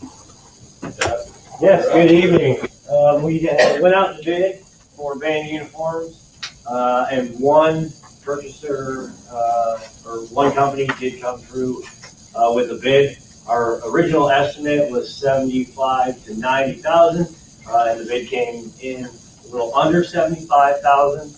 Um, I did bring a sample for you to see, uh, what they would look like. Uh. And Ms. Coonrod came if you wanted to ask her any questions as well. Um, so need approval to purchase so that we can get these sized and ready for uh, the fall football. Disappointed you're not wearing. And I believe Doug, you said you went out for bid on these, they would last longer than what the uniforms. Yes, uh, especially with uh, the belt lines and the pants, because we have a volunteer who has been seaming and reseaming all of the pants so the bottoms are completely torn up. Um, these, like I described in March board meeting, uh, are much like little kids' pants where they button so you can adjust those lines without resewing. Uh, and that's going to have a huge effect on the length of the Okay, any further discussion on this item? Second. I'm sorry. Ashley?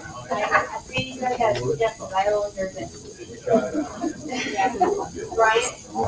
Worley? Yes. Barry? Yes. Maddox? Yes. Fitz?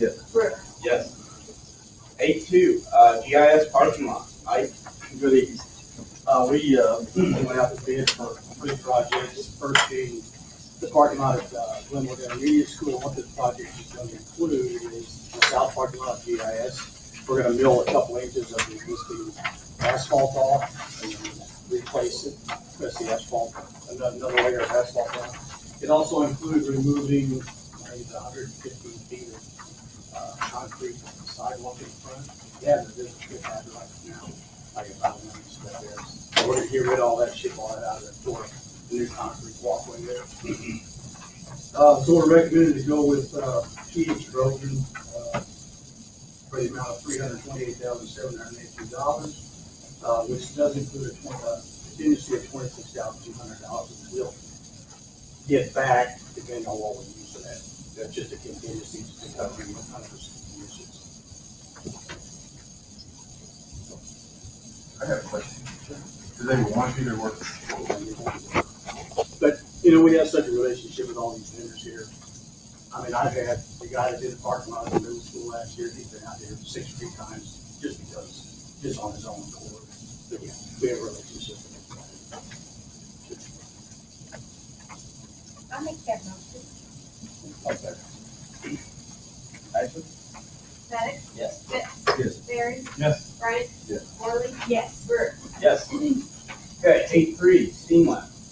Uh, the next one is, we, uh, again, went out to bid to, uh, renovate one of the existing classrooms over at GIS. Uh, It's a, it's a double-sized classroom. Um, So the plan is to go in and raise the ceiling in here, do some painting, reroute some electrical, uh, make it more conducive to our present technology, um, and convert the city to a steam lab, STEM lab. Um, so I'm gonna recommend going with RL Volunteer for the cost of two hundred forty-five thousand eight hundred eighteen dollars with a contingency of twelve-five. Uh, again, we'll get that twelve-five back, whatever we don't use, we can get that back. To build a one classroom. It's one section, yes. It's a double-sized classroom, this entire area will be, will be STEM lab. Could you put up the, um, private cost summary again, the schedule thing, this one? Yeah. That is, uh, that comes from our architect, our architect's involved in this. Uh, so he just puts together, um, the, the first line you'll see on the left-hand side there is what we, before we ever took any bids or anything like that, this is Right. just strictly numbers, just to experience, um, what we estimated the cost to be. Okay, Uh, the number to the right there is the actual bid cost. okay. Yeah, it's just a, just an Right. educated guess Right. based on labor rates and and materials and all that. We have that on there. Right. And how long will, will this be locked in because of all the tornadoes and stuff, building materials that don't go up? Um, yeah, that's what they did, that's what they did. Yeah.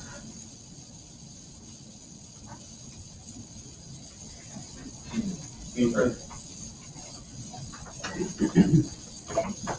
What's that? Ashley? Brian? Yes. Fitz? Yes. Worley? Yes. Maddox? Yes. Barry? Yes. Brooks? Yes. Uh, eight four, uh, approval, uh, for lab furniture. So in that lab, we, uh, need STEM lab furniture, uh, so standard classroom furniture, it's just not conducive for that particular environment. environment. Moving out to bid, we did receive three bids, the first one from School Specialty was a partial bid. Um, I think they did five items out of the twenty-three items or something like that, but I'm, that, that's really a non-responsive bid. Uh, so the other two is between Virtual and Alliance Supply, Virtual came in the most responsive bidder. Um, they came in at thirty-six, nine thirty-seven, seventy-six, I had to add a contingency in there, so the total, uh, amount will be forty thousand, six thirty, seventy-six. Uh, and again, any contingency will be returned to the district, and that's basically for, um, if we decide to go with TV, TV mounting uh, hardware as opposed to putting them on the wall, or, you know, just, it's just like a buffer, just, we, we've never had a stream like before, so just to see how this is gonna shake out, I think it's probably a good idea to go ahead and put that contingency in.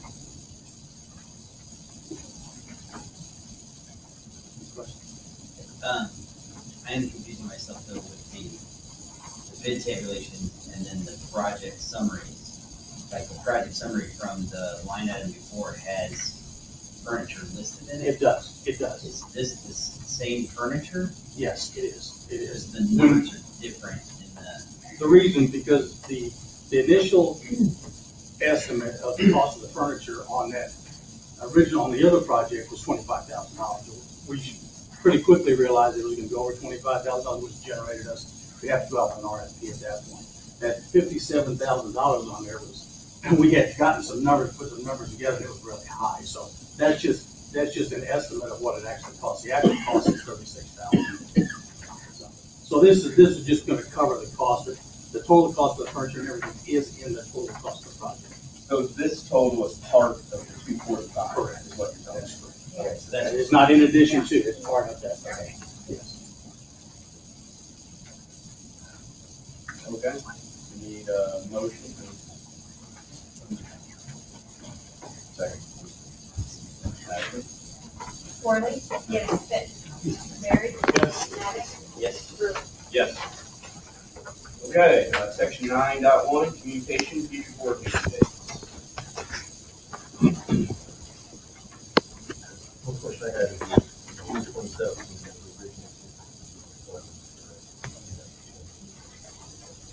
Yeah, yeah. For the levy.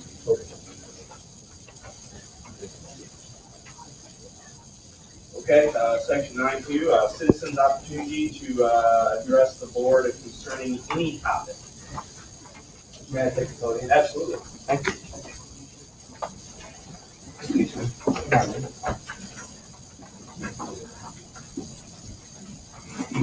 Hello. Uh, from earlier, I am Isaac Backpacks are a very important part of students' lives. Uh, from textbooks to folders, these containers do very much in making the walk from class to class as efficient as possible. I am Isaac Gall, and on behalf of the student body, I am advocating for backpacks. I will not only address the concerns of the board, but also provide evidence as to why backpacks should be allowed in Glenwood High School for not only next school year, but the years that follow.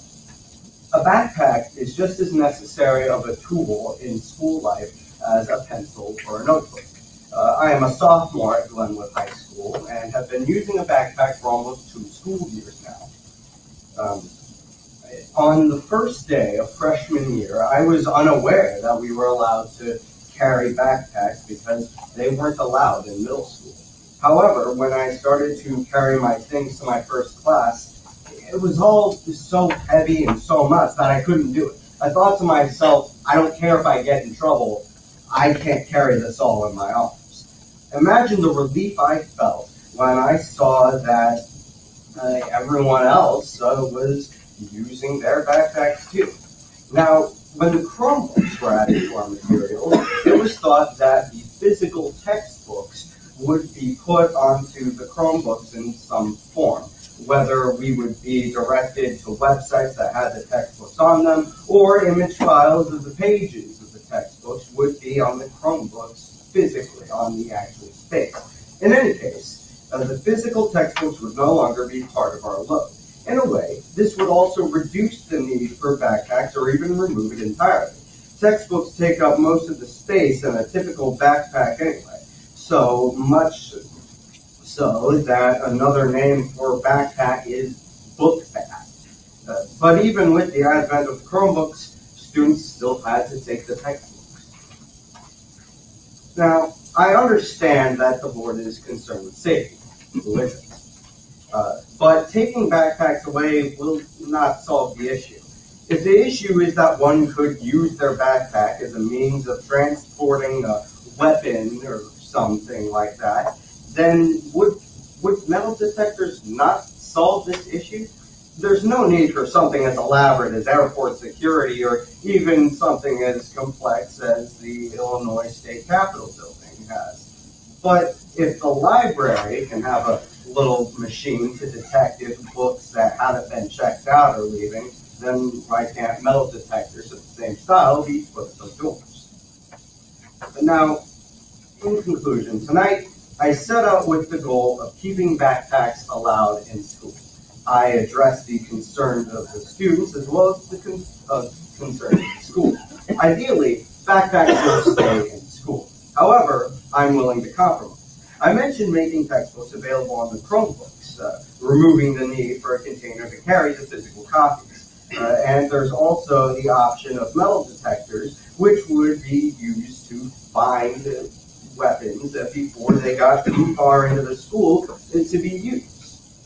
And while opaque backpacks may be an issue, transparent backpacks also solve both of our problems. Anyone can see inside the backpacks without searching them, and students are still able to carry material from class to class. These are the better solutions to the problem, I assure you. And on behalf of the entire student body, I implore you to utilize one of them. However, if you need more substantial evidence before making your final ruling, then I invite you to come to Glenwood High School. Take uh, six Chromebooks, two notebooks, a trapper keeper filled with papers, uh, and uh, run a schedule. See for yourself if it is easier with or without a backpack. For it's easier to make a decision when the negative consequences of said decision don't affect you. I'm Isaac Dahl, representing the student body. Thank you. Hey, Isaac, I'd like to make a comment, just to let you know. We, the board received a letter from a high school student, voicing her concerns about, um, allowing And the- she reiterated many of the same, um, comments that you said. So I wrote her and said, um, uh, So, uh, I would like to carry your books, um, uh, from, and during the passing period. I'd like to carry your books and, you know, load me up and I'm gonna physically carry them, not in my arms. Well, Isaac, I am sorry to say that she didn't respond for two weeks. Then she did respond, and um, I so she suggested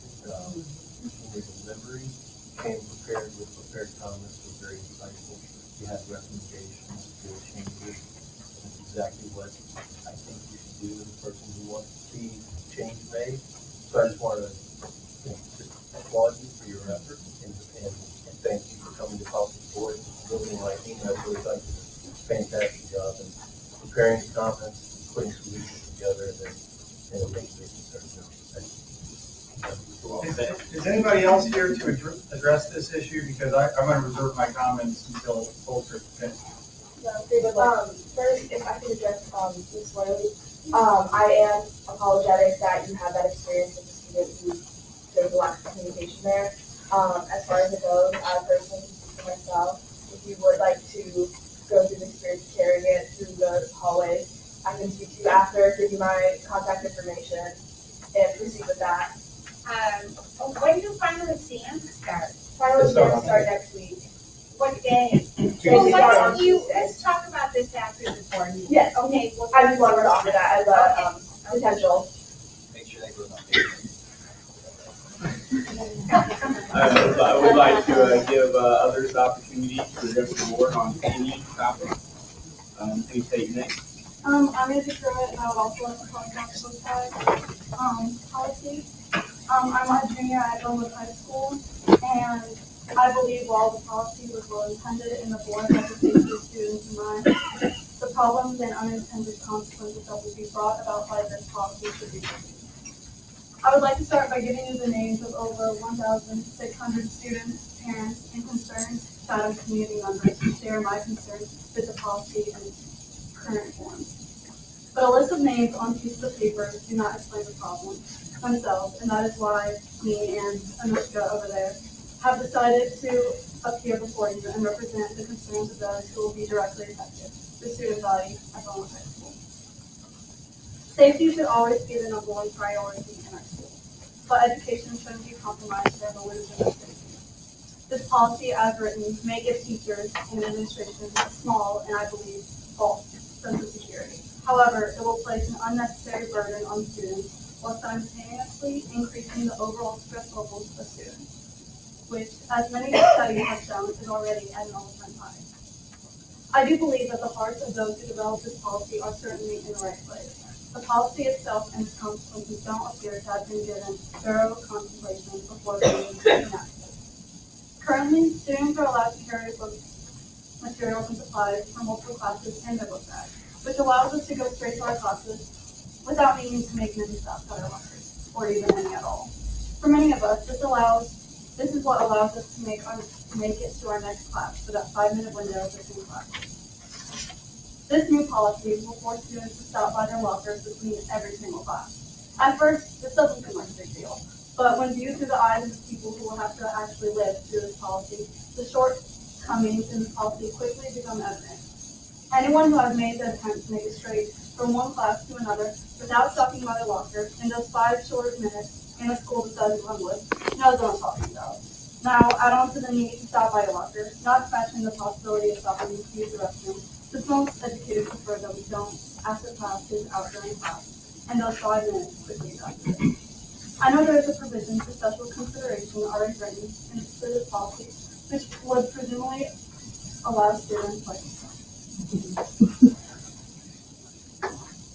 which would presumably allow students like myself who have scoliosis or students that have other issues to be able to carry them as needed. However, what I'm suggesting is that, as written, this policy becomes a burden on all students. I am here this evening to plead with the board to either reconsider their decision to implement this policy or at least consider how much this would complicate daily life for students on the Glenwood campus. Minimally, I am asking for the student board to consider a compromise on the extent of the policy to assist with the transition of a smooth way of doing things. Since this policy is designed to address perceived negatives in our current book bag policy, I would like to take a moment to discuss how having book bags during the day has positively affected me, and then I will let Anushka explain um, other students who have also addressed their concerns. I start with my own story and how book bags have made my life easier. For example, between fourth period and fifth period, I go from DIN to honors English, which is on opposite sides of school. The class is in the new wing, which increased the size of our school just a few years ago.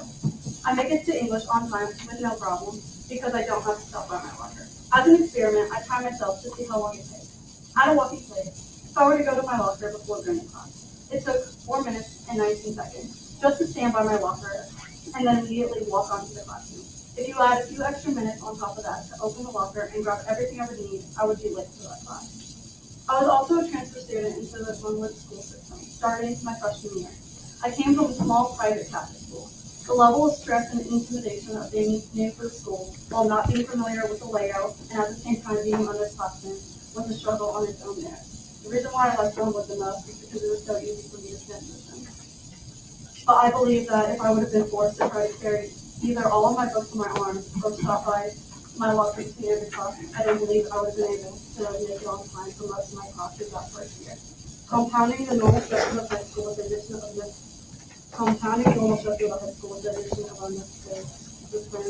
actions. And. Alright,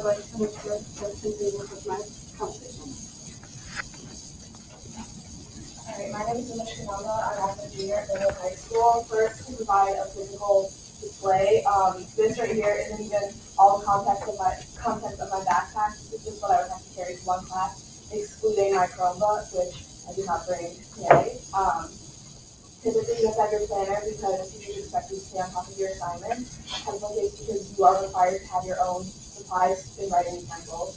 Calculators because in math and science classes, the teachers don't have enough calculators that function properly to provide for every single student in the class. Typically in English, four years are required to graduate, you have a book that you're reading, so I pretty much always have a book on me.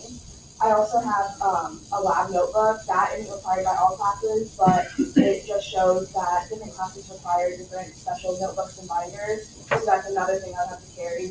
Here I have a normal spiral notebook that I have to bring to my classes to take notes um, because most classes operate on a lecture-based curriculum.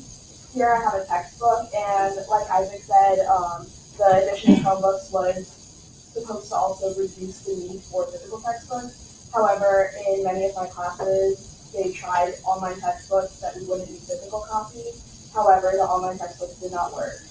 And then this is just a folder which you get very a lot of handouts because online handouts are not as common as they said they would be this year. So you also have to have a folder to hold all of your things. And then a bunch of other Can I just ask a, a real quick question? You, you said all of those items for a, are for a singular class? So that um, in um, in exception to this, this is an example of what I would have to bring to my entrepreneurship class. In exception to this um, textbook, which I'm not going to make you pull out, and this, that's what I would need for AP biology. And it just goes on. This is just a standard load that I would have to carry for my classes, not including the Chromebook, which is also expected um, that students bring all of their classes. Alright, and then um, also I'd like to address, I carry a water bottle all the time. There are a lot of student athletes, and on game days, you're required and by your coaches, um, and it's highly recommended that you drink water throughout the day, so you are dehydrated for the game. Um, my water bottle is pretty heavy. There are other options, but that's just another, that's just another thing that you have to carry around. Um, which Glenwood being two stories for all but one wing, so two hallways, that makes walking up and down the stairs a potential hazard because I know I personally would fall if I didn't have my bag to help me carry all of those things. Um, also, one concern is that backpacks and holding all of that on your bag back is um, detrimental for physical health of teens as well as children. However, um, Dr. Uh, Patel, who is a pediatric orthopedic surgeon, and other medical professionals agree that um, more slouching and pain, like in your back, from losing bad posture is more so from technology, which is increasing in the world, um, rather than caused by backpacks. Um, as far as the notice that went out to students and parents in the district, it claims that this was, this um, policy was put in place because of um, hazards such as safety regarding weapons um, and violence. I'll get into that later, but it was also put in place um, as regards to the hazard. There hasn't been much research on this, um, but personally, I believe that it might be more hazardous for teachers and students walking through the aisles of the classroom to have all those items on the floor if they get kicked over. That to me presents um, a larger hazard than having a backpack on the floor, which can also be tucked under. Um, a counterpoint for that is that most of the desks at Dublin High School have the wire basket underneath. However, those are rarely big enough. They could not fit that load I showed you earlier. They are not wide enough to fit the Chromebooks um, when they're in the case because we require us to keep our Chromebooks in the case. So in that that would have to be in order for us to use the wire um. And also most textbooks don't fit because are too wide. I would also like to point out that many wire baskets are missing wires and some of them aren't even on the chairs. Um, then in reference to the other safety concern, which is that students can be bringing weapons and contraband into the school, um, I'd like to, I understand that safety, like the best interest of this policy to promote safety for students and for teachers and everyone in these schools. Um, I'd like to just talk about three mass school shootings real quick um, to address how those went down. So the Parkland shooting in Florida, that um, Nikolas Cruz was the um, shooter. He was expelled from the school because he wasn't a student, and he brought his weapon in through a rifle bag, which is a black duffel, not the size of a backpack, not able to be classified as a backpack, and he also was able to enter the building through an unlocked entrance um, in a stairwell. The Sandy Hook Elementary shooting, that was an adult shooter um, who was 20 years old Adam Lanza. He was able to get in because they didn't have monitored doors, which is what Glenwood High School has, which also have a lock system where the security staff have to let you in in order to enter the front door. And then even in Columbine, Eric Harris was a student who um, was person who took out the mass shooting, and he didn't even have his weapon. Um, this was when schools weren't as hard as their safety policies. He didn't even have his weapon on him during school day. They, they had an open exit system, and he was allowed to go out to his car, access his duffel bag with his weapon in it, and then proceed to carry out the shooting that he planned. So that's just to say that in these major instances of shooting, it wasn't a student most of the time, and they didn't carry it in their backpack. But that isn't to say that students are not able to bring weapons in their backpack. Um, and also in reference to Columbine, how uh, Eric Harris was allowed to go out to his car and then access that duffel bag. Already, the students who access their cars um, during school day, they have to get permission from the security staff, so the security kiosks in the front, and a potential um, compromise to that to ensure that they aren't having any contraband from their car is that the security staff um, escort them to their car to ensure that they aren't trying to use and or access contraband. Um, as far as it goes with um, the scheduling is was talking about on how you could potentially be party, um, party or serious policy at the school, um, and they go on your record if you use detention. Um, policy seven one thirty, um, section B number five says that the student responsibility is to be punctual and present to the best of one's ability. This ability is not able to be fully achieved if students are having to go through their locker between every class, so that can be more detentions, and more disciplinary action.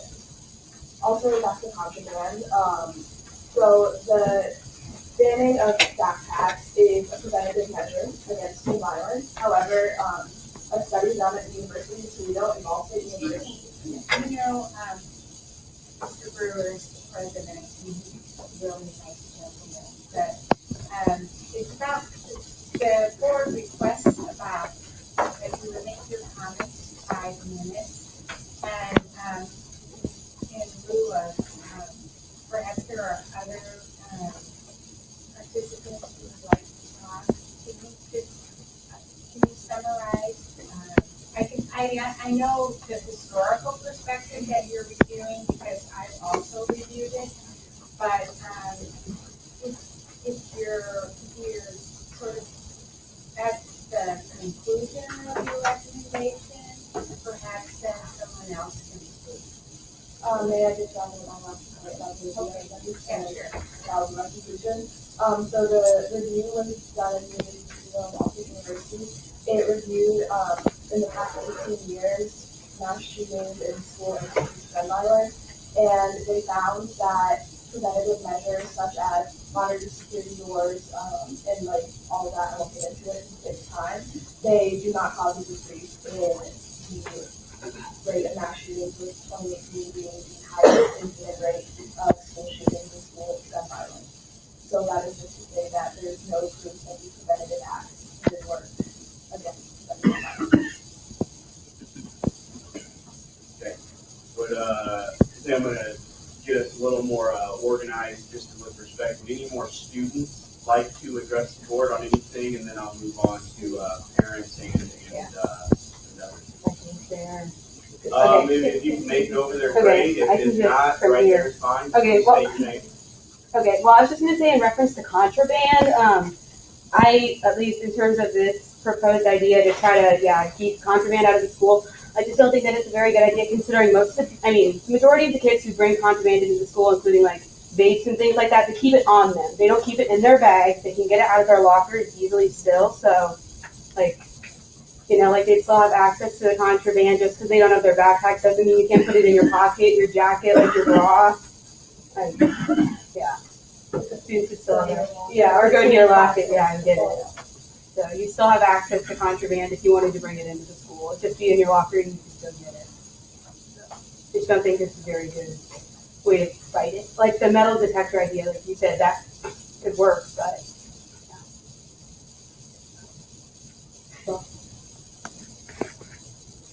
Thank you. Any, any, other- any other students wish, wish to address the board? May I make one more comment before? Sure. It's, um, I was gonna do this other time. Um, this is about compromises because I can come here and talk about all these problems, but it's like, there's something that needs to be about it. Right? So, um, I've always believed that pointing out problems without offering a path towards a solution is not helpful. But to that end, I would like to discuss some ideas where we might meet in the middle between doing away with policy altogether and full enforcement of the policy as a whole. One suggestion that comes to mind is to allow the lengthening of the passing period by a few minutes to allow extra time necessary for students to be able to get to a locker. Another would be to follow the examples of other schools like Springfield High School that allows um, either clear bags or book bags that are or more like purses that are not bigger than a notebook. So it's a way to um, make it smaller so it's easier to search if necessary. Um, and it's less likely that people will be confident and stuff like that to um, the school.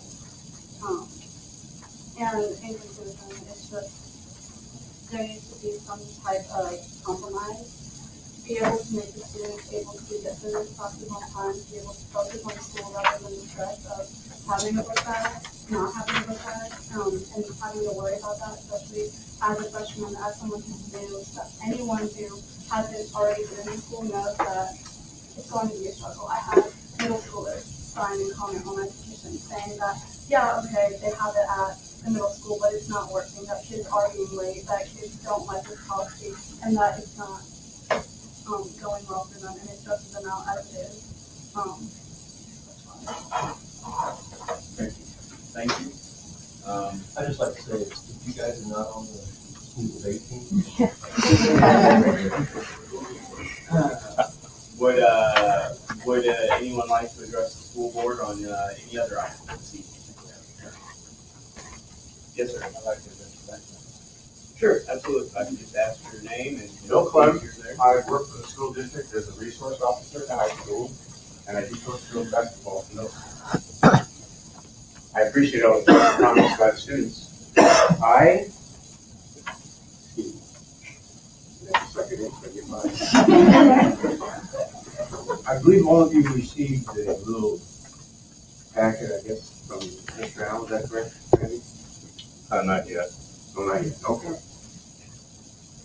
He was to get I was responsible for most all of the research on it. Um, we had many committee meetings.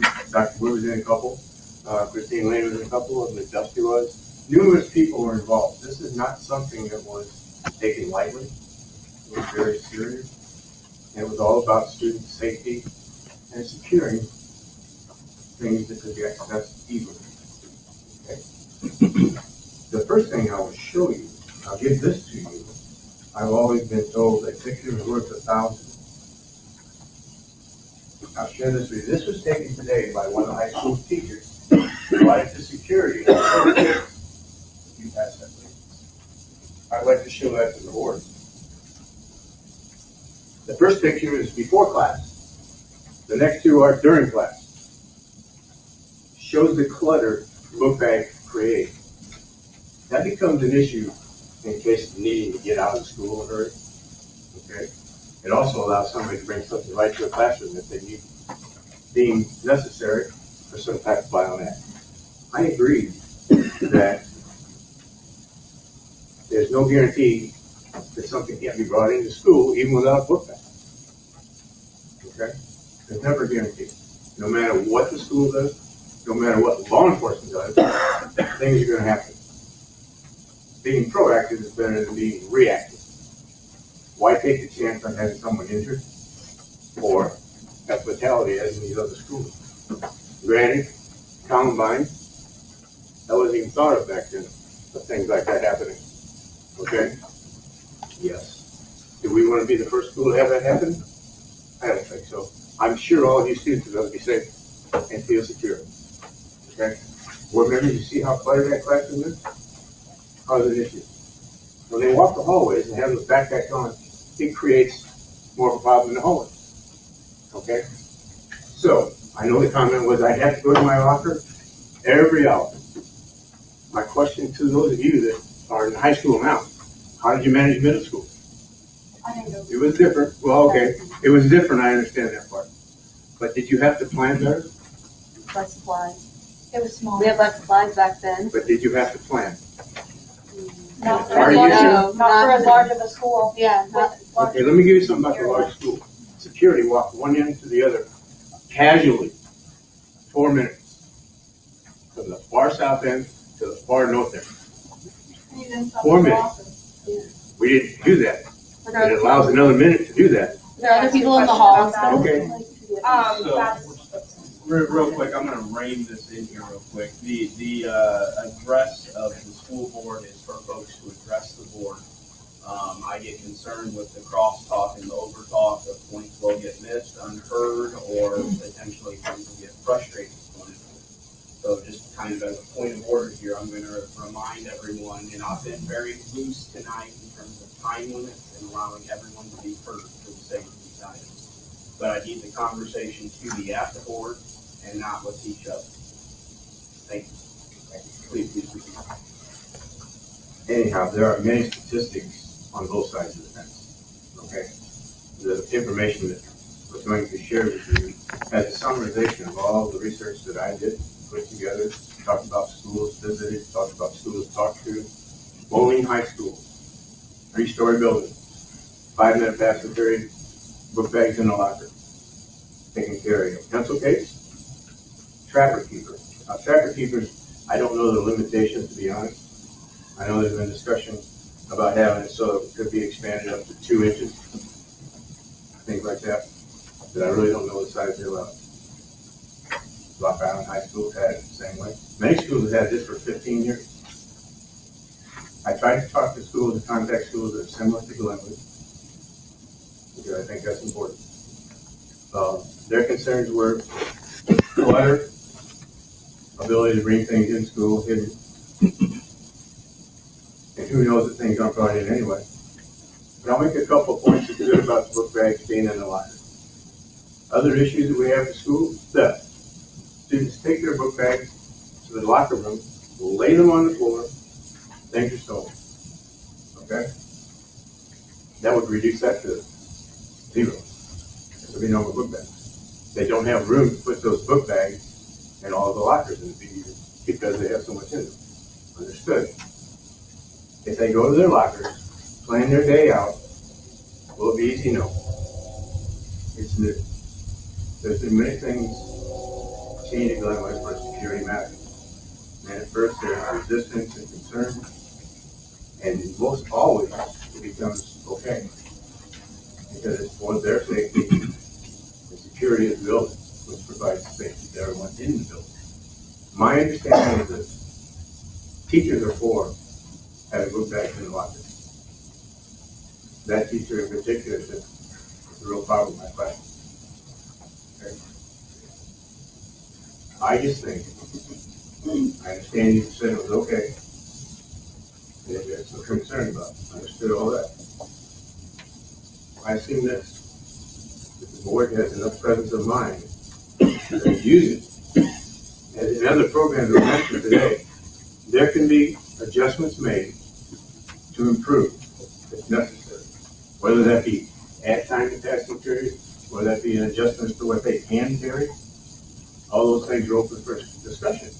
But I think one year is a good proving ground. So I would recommend that the school board keep it as they recommend the. The policy. Thank you for your time. Thank you. Okay, I'd like to address the issue myself now. So I, I first applaud those of you who put together the petition. I mean, that's an impressive feat, getting sixteen hundred uh, signatures. Um, I certainly appreciate the input. I think that, uh, you know, last month was my first board meeting. This was a, a- an item that was part of a number of handbook changes. So I appreciate all of you who have come here tonight to bring this issue to the attention of the board. I appreciate you prompting the discussion. I don't think this issue deserves, uh, uh, received the, uh, discussion it deserved last month. Um, I, uh, one thing I want to point out, I don't, I don't think any of you all did this, but, and Doug, feel free to jump in on this. but, Um, my initial thought was that the, the book bag ban was put in place because of security issues, prevent weapons, other paraphernalia coming into school. But it's, it's more than that. I mean, you mentioned the clutter, but, uh, there, you told me the story about the, uh, the, the, the bomb threat and there was a real problem, um, navigating through all the book bags and it took forever to.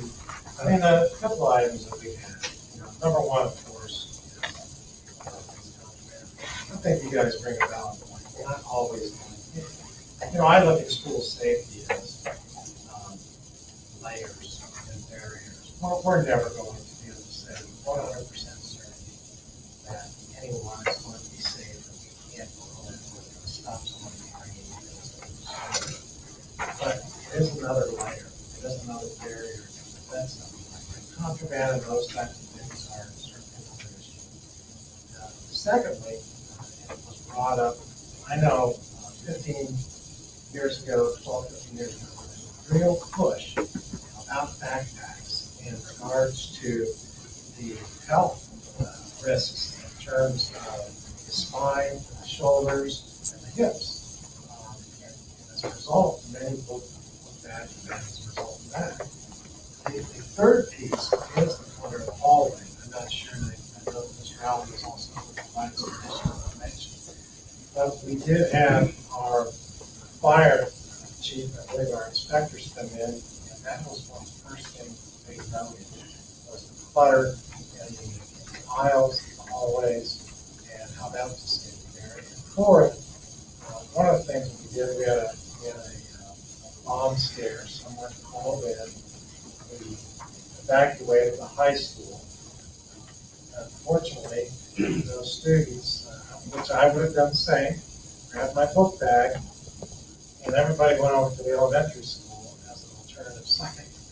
Well, now all of a sudden, there's concern there, and we actually did, we got some concerned parents who called us and said, you know, what could have been emergency at high school has now been transferred to the other school. So, uh, the transfer of the backpacks was, again, another concern.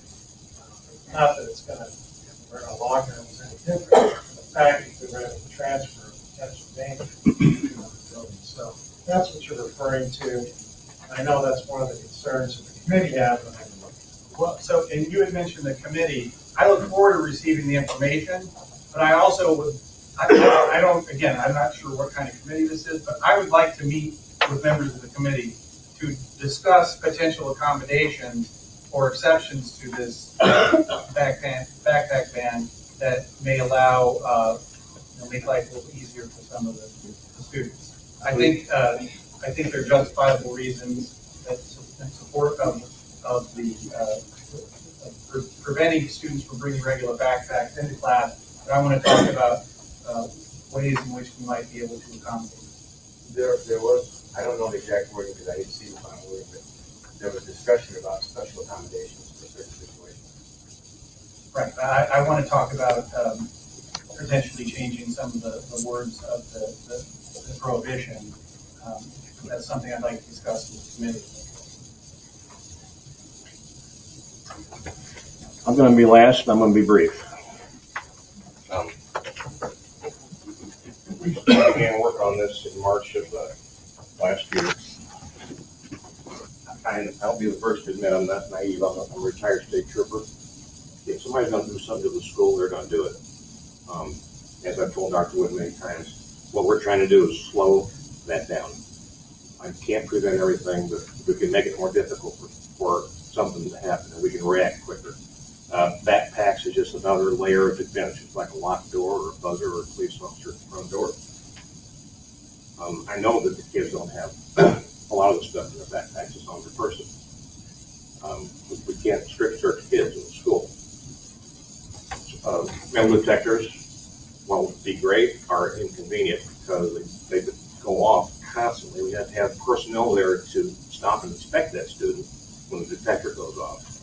So the backpack thing for me was a, was a slam dunk, and I'll, I'll give you something quick, which I'm gonna give to you guys shortly. Um, for we did have our fire chief, I believe our inspectors come in, and that was one of the first things they noted, clutter in the aisles, the hallways, and how that was a area. And fourth, uh, one of the things we did, we had a, we had a um, a bomb scare, called in, we evacuated the high school. Unfortunately, those students, uh, which I would have done the same, grabbed my book bag, and everybody went over to the elementary school as an alternative site. Well, now all of a sudden, there's concern there, and we actually did. We got some concerned parents who called us and said, you know, what should have been an emergency high school has now been transferred to the other school. So, uh, the transfer of the backpacks was, again, another concern. Uh, Not that it's gonna, we're in a room or any different, the fact that we're ready to transfer potential danger to another building. So that's what you're referring to. I know that's one of the concerns the committee were. Well, so, and you had mentioned the committee. I look forward to receiving the information, but I also would, I, I don't, again, I'm not sure what kind of committee this is, but I would like to meet with members of the committee to discuss potential accommodations or exceptions to this backpack, backpack ban that may allow, uh, you know, make life a little easier for some of the the students. I think, uh, I think there are justifiable reasons of, of the, uh, pre- preventing students from bringing regular backpacks into class, but I want to talk about, uh, ways in which we might be able to accommodate. There, there was, I don't know the exact wording because I didn't see the final wording, but there was discussion about special accommodations for certain situations. Right, I, I want to talk about, um, potentially changing some of the, the words of the, the the prohibition. Um, That's something I'd like to discuss with the committee. I'm gonna be last, and I'm gonna be brief. Um, I began work on this in March of, uh, last year. I, I'll be the first to admit I'm not naive, I'm a, I'm a retired state trooper. If somebody's gonna do something to the school, they're gonna do it. Um, as I've told Dr. Wood many times, what we're trying to do is slow that down. I can't prevent everything, but we can make it more difficult for, for something to happen, and we can react quicker. Uh, backpacks is just another layer of defense, it's like a locked door or a buzzer or a police officer at the front door. Um, I know that the kids don't have a lot of the stuff in their backpacks that's on their person. Um, we, we can't strip search kids in school. Uh, metal detectors, while would be great, are inconvenient because they, they could go off constantly. We have to have personnel there to stop and inspect that student when the detector goes off. So the backpack thing for me was a, was a slam dunk, and I'll, I'll give you something quick, which I'm gonna give to you guys shortly. Um, there are Illinois schools that have banned backpacks. And this is just a few that we talked to. Carlinville, Piasa Southwestern, Morrisonville, Staunton, Shelbyville, Marion, Rock Island High and Junior, Moline High School for over a decade. Chillicothe High School 12 years ago, Pana High School two years ago, following the shooting in Mattoon. All three District 186 schools banned uh, backpacks three years ago. And the middle school in 2005. That's just surrounding schools here. We also talked to Niles McKinley High School in Niles, Ohio.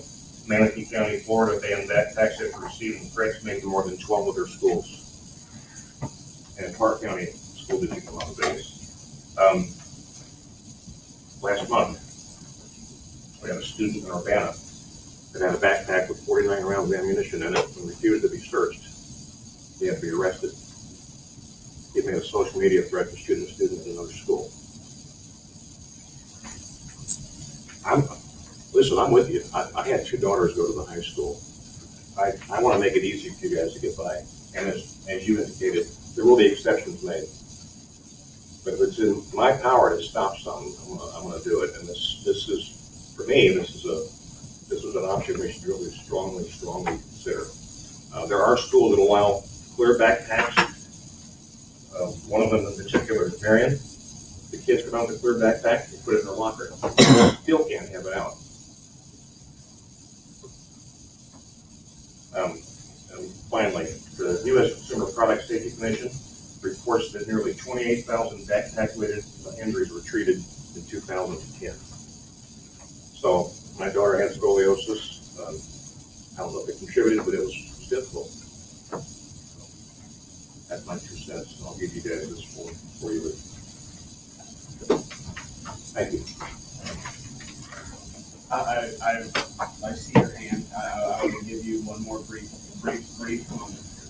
Alright, just to address the board, as Mr. Berry suggested, having a board member on that committee, um, to review this policy is my recommendation, as since this policy is already in place, to further make accommodations for students and exceptions to this policy, just to review and see what the students think about it. It's my recommendation that students also be given the opportunity to be members, contributing members to that committee, if only to share their opinions. And in March of 18, when we started this, we had a student representative, senior, three, we had three students on the, on the board with us on the policy committee.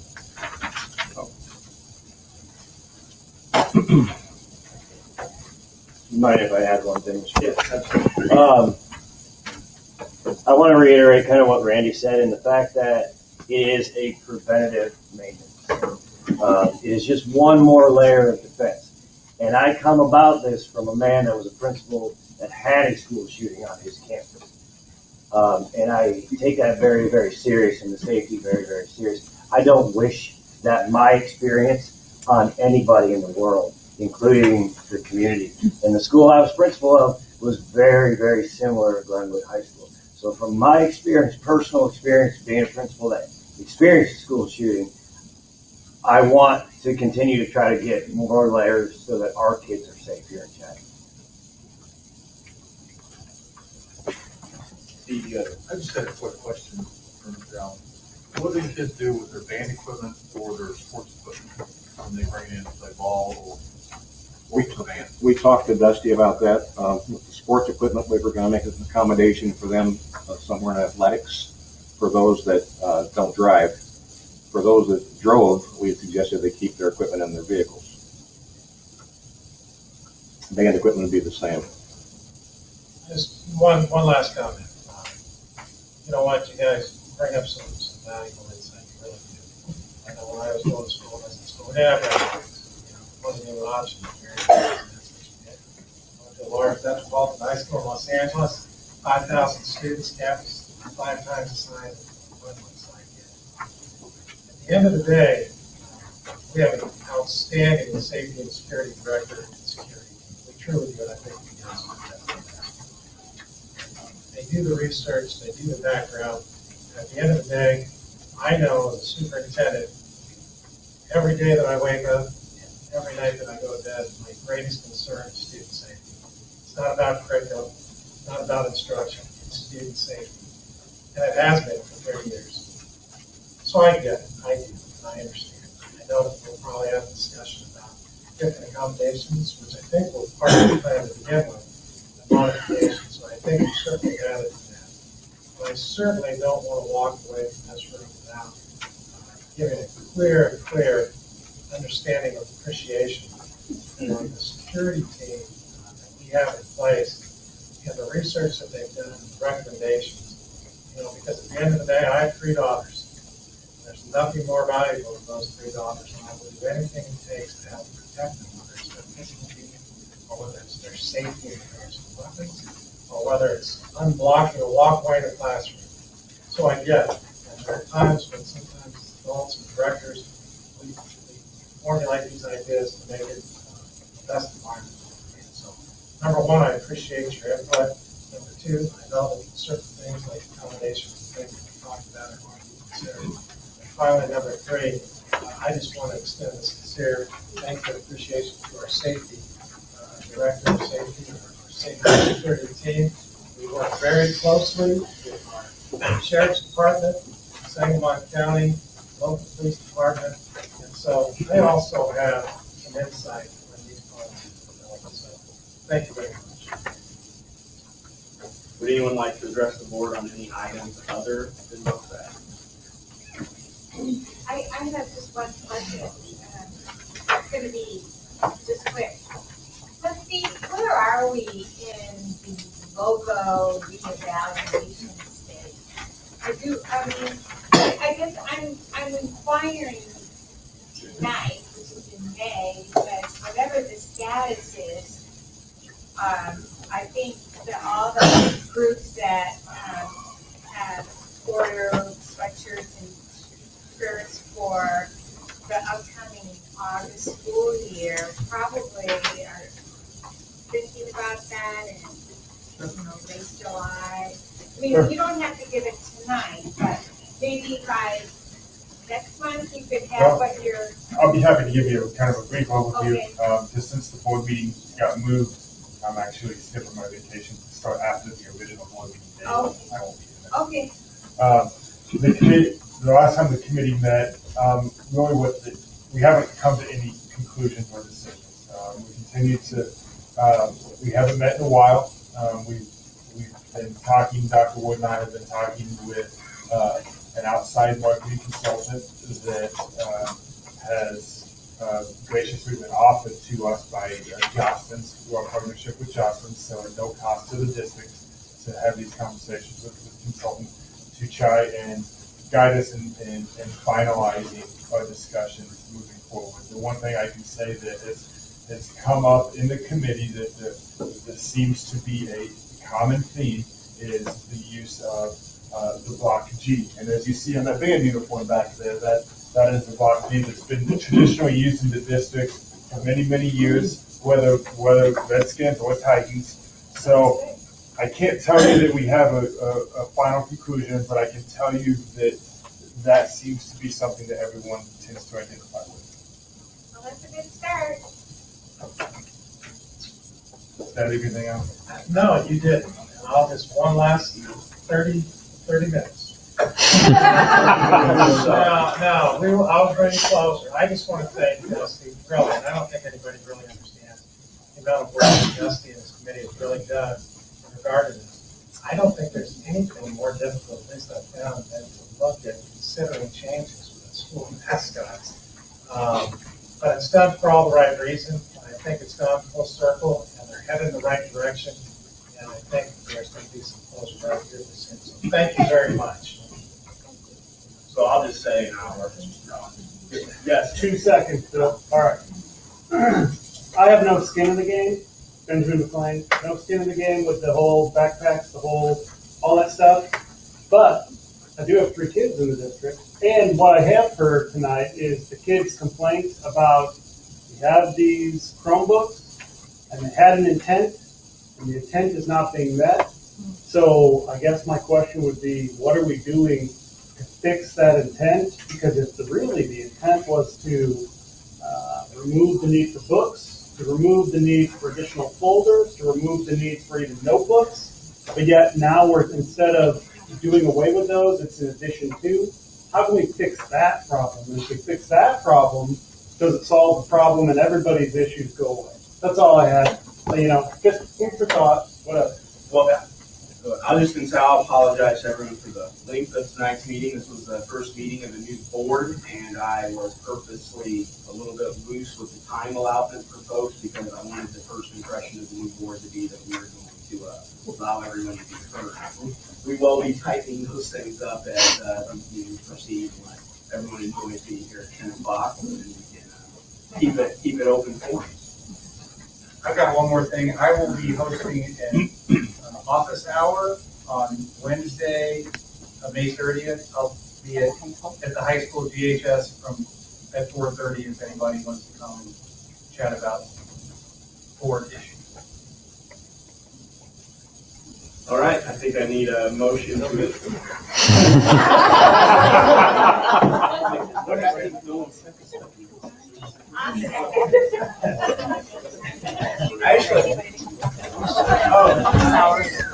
in favor?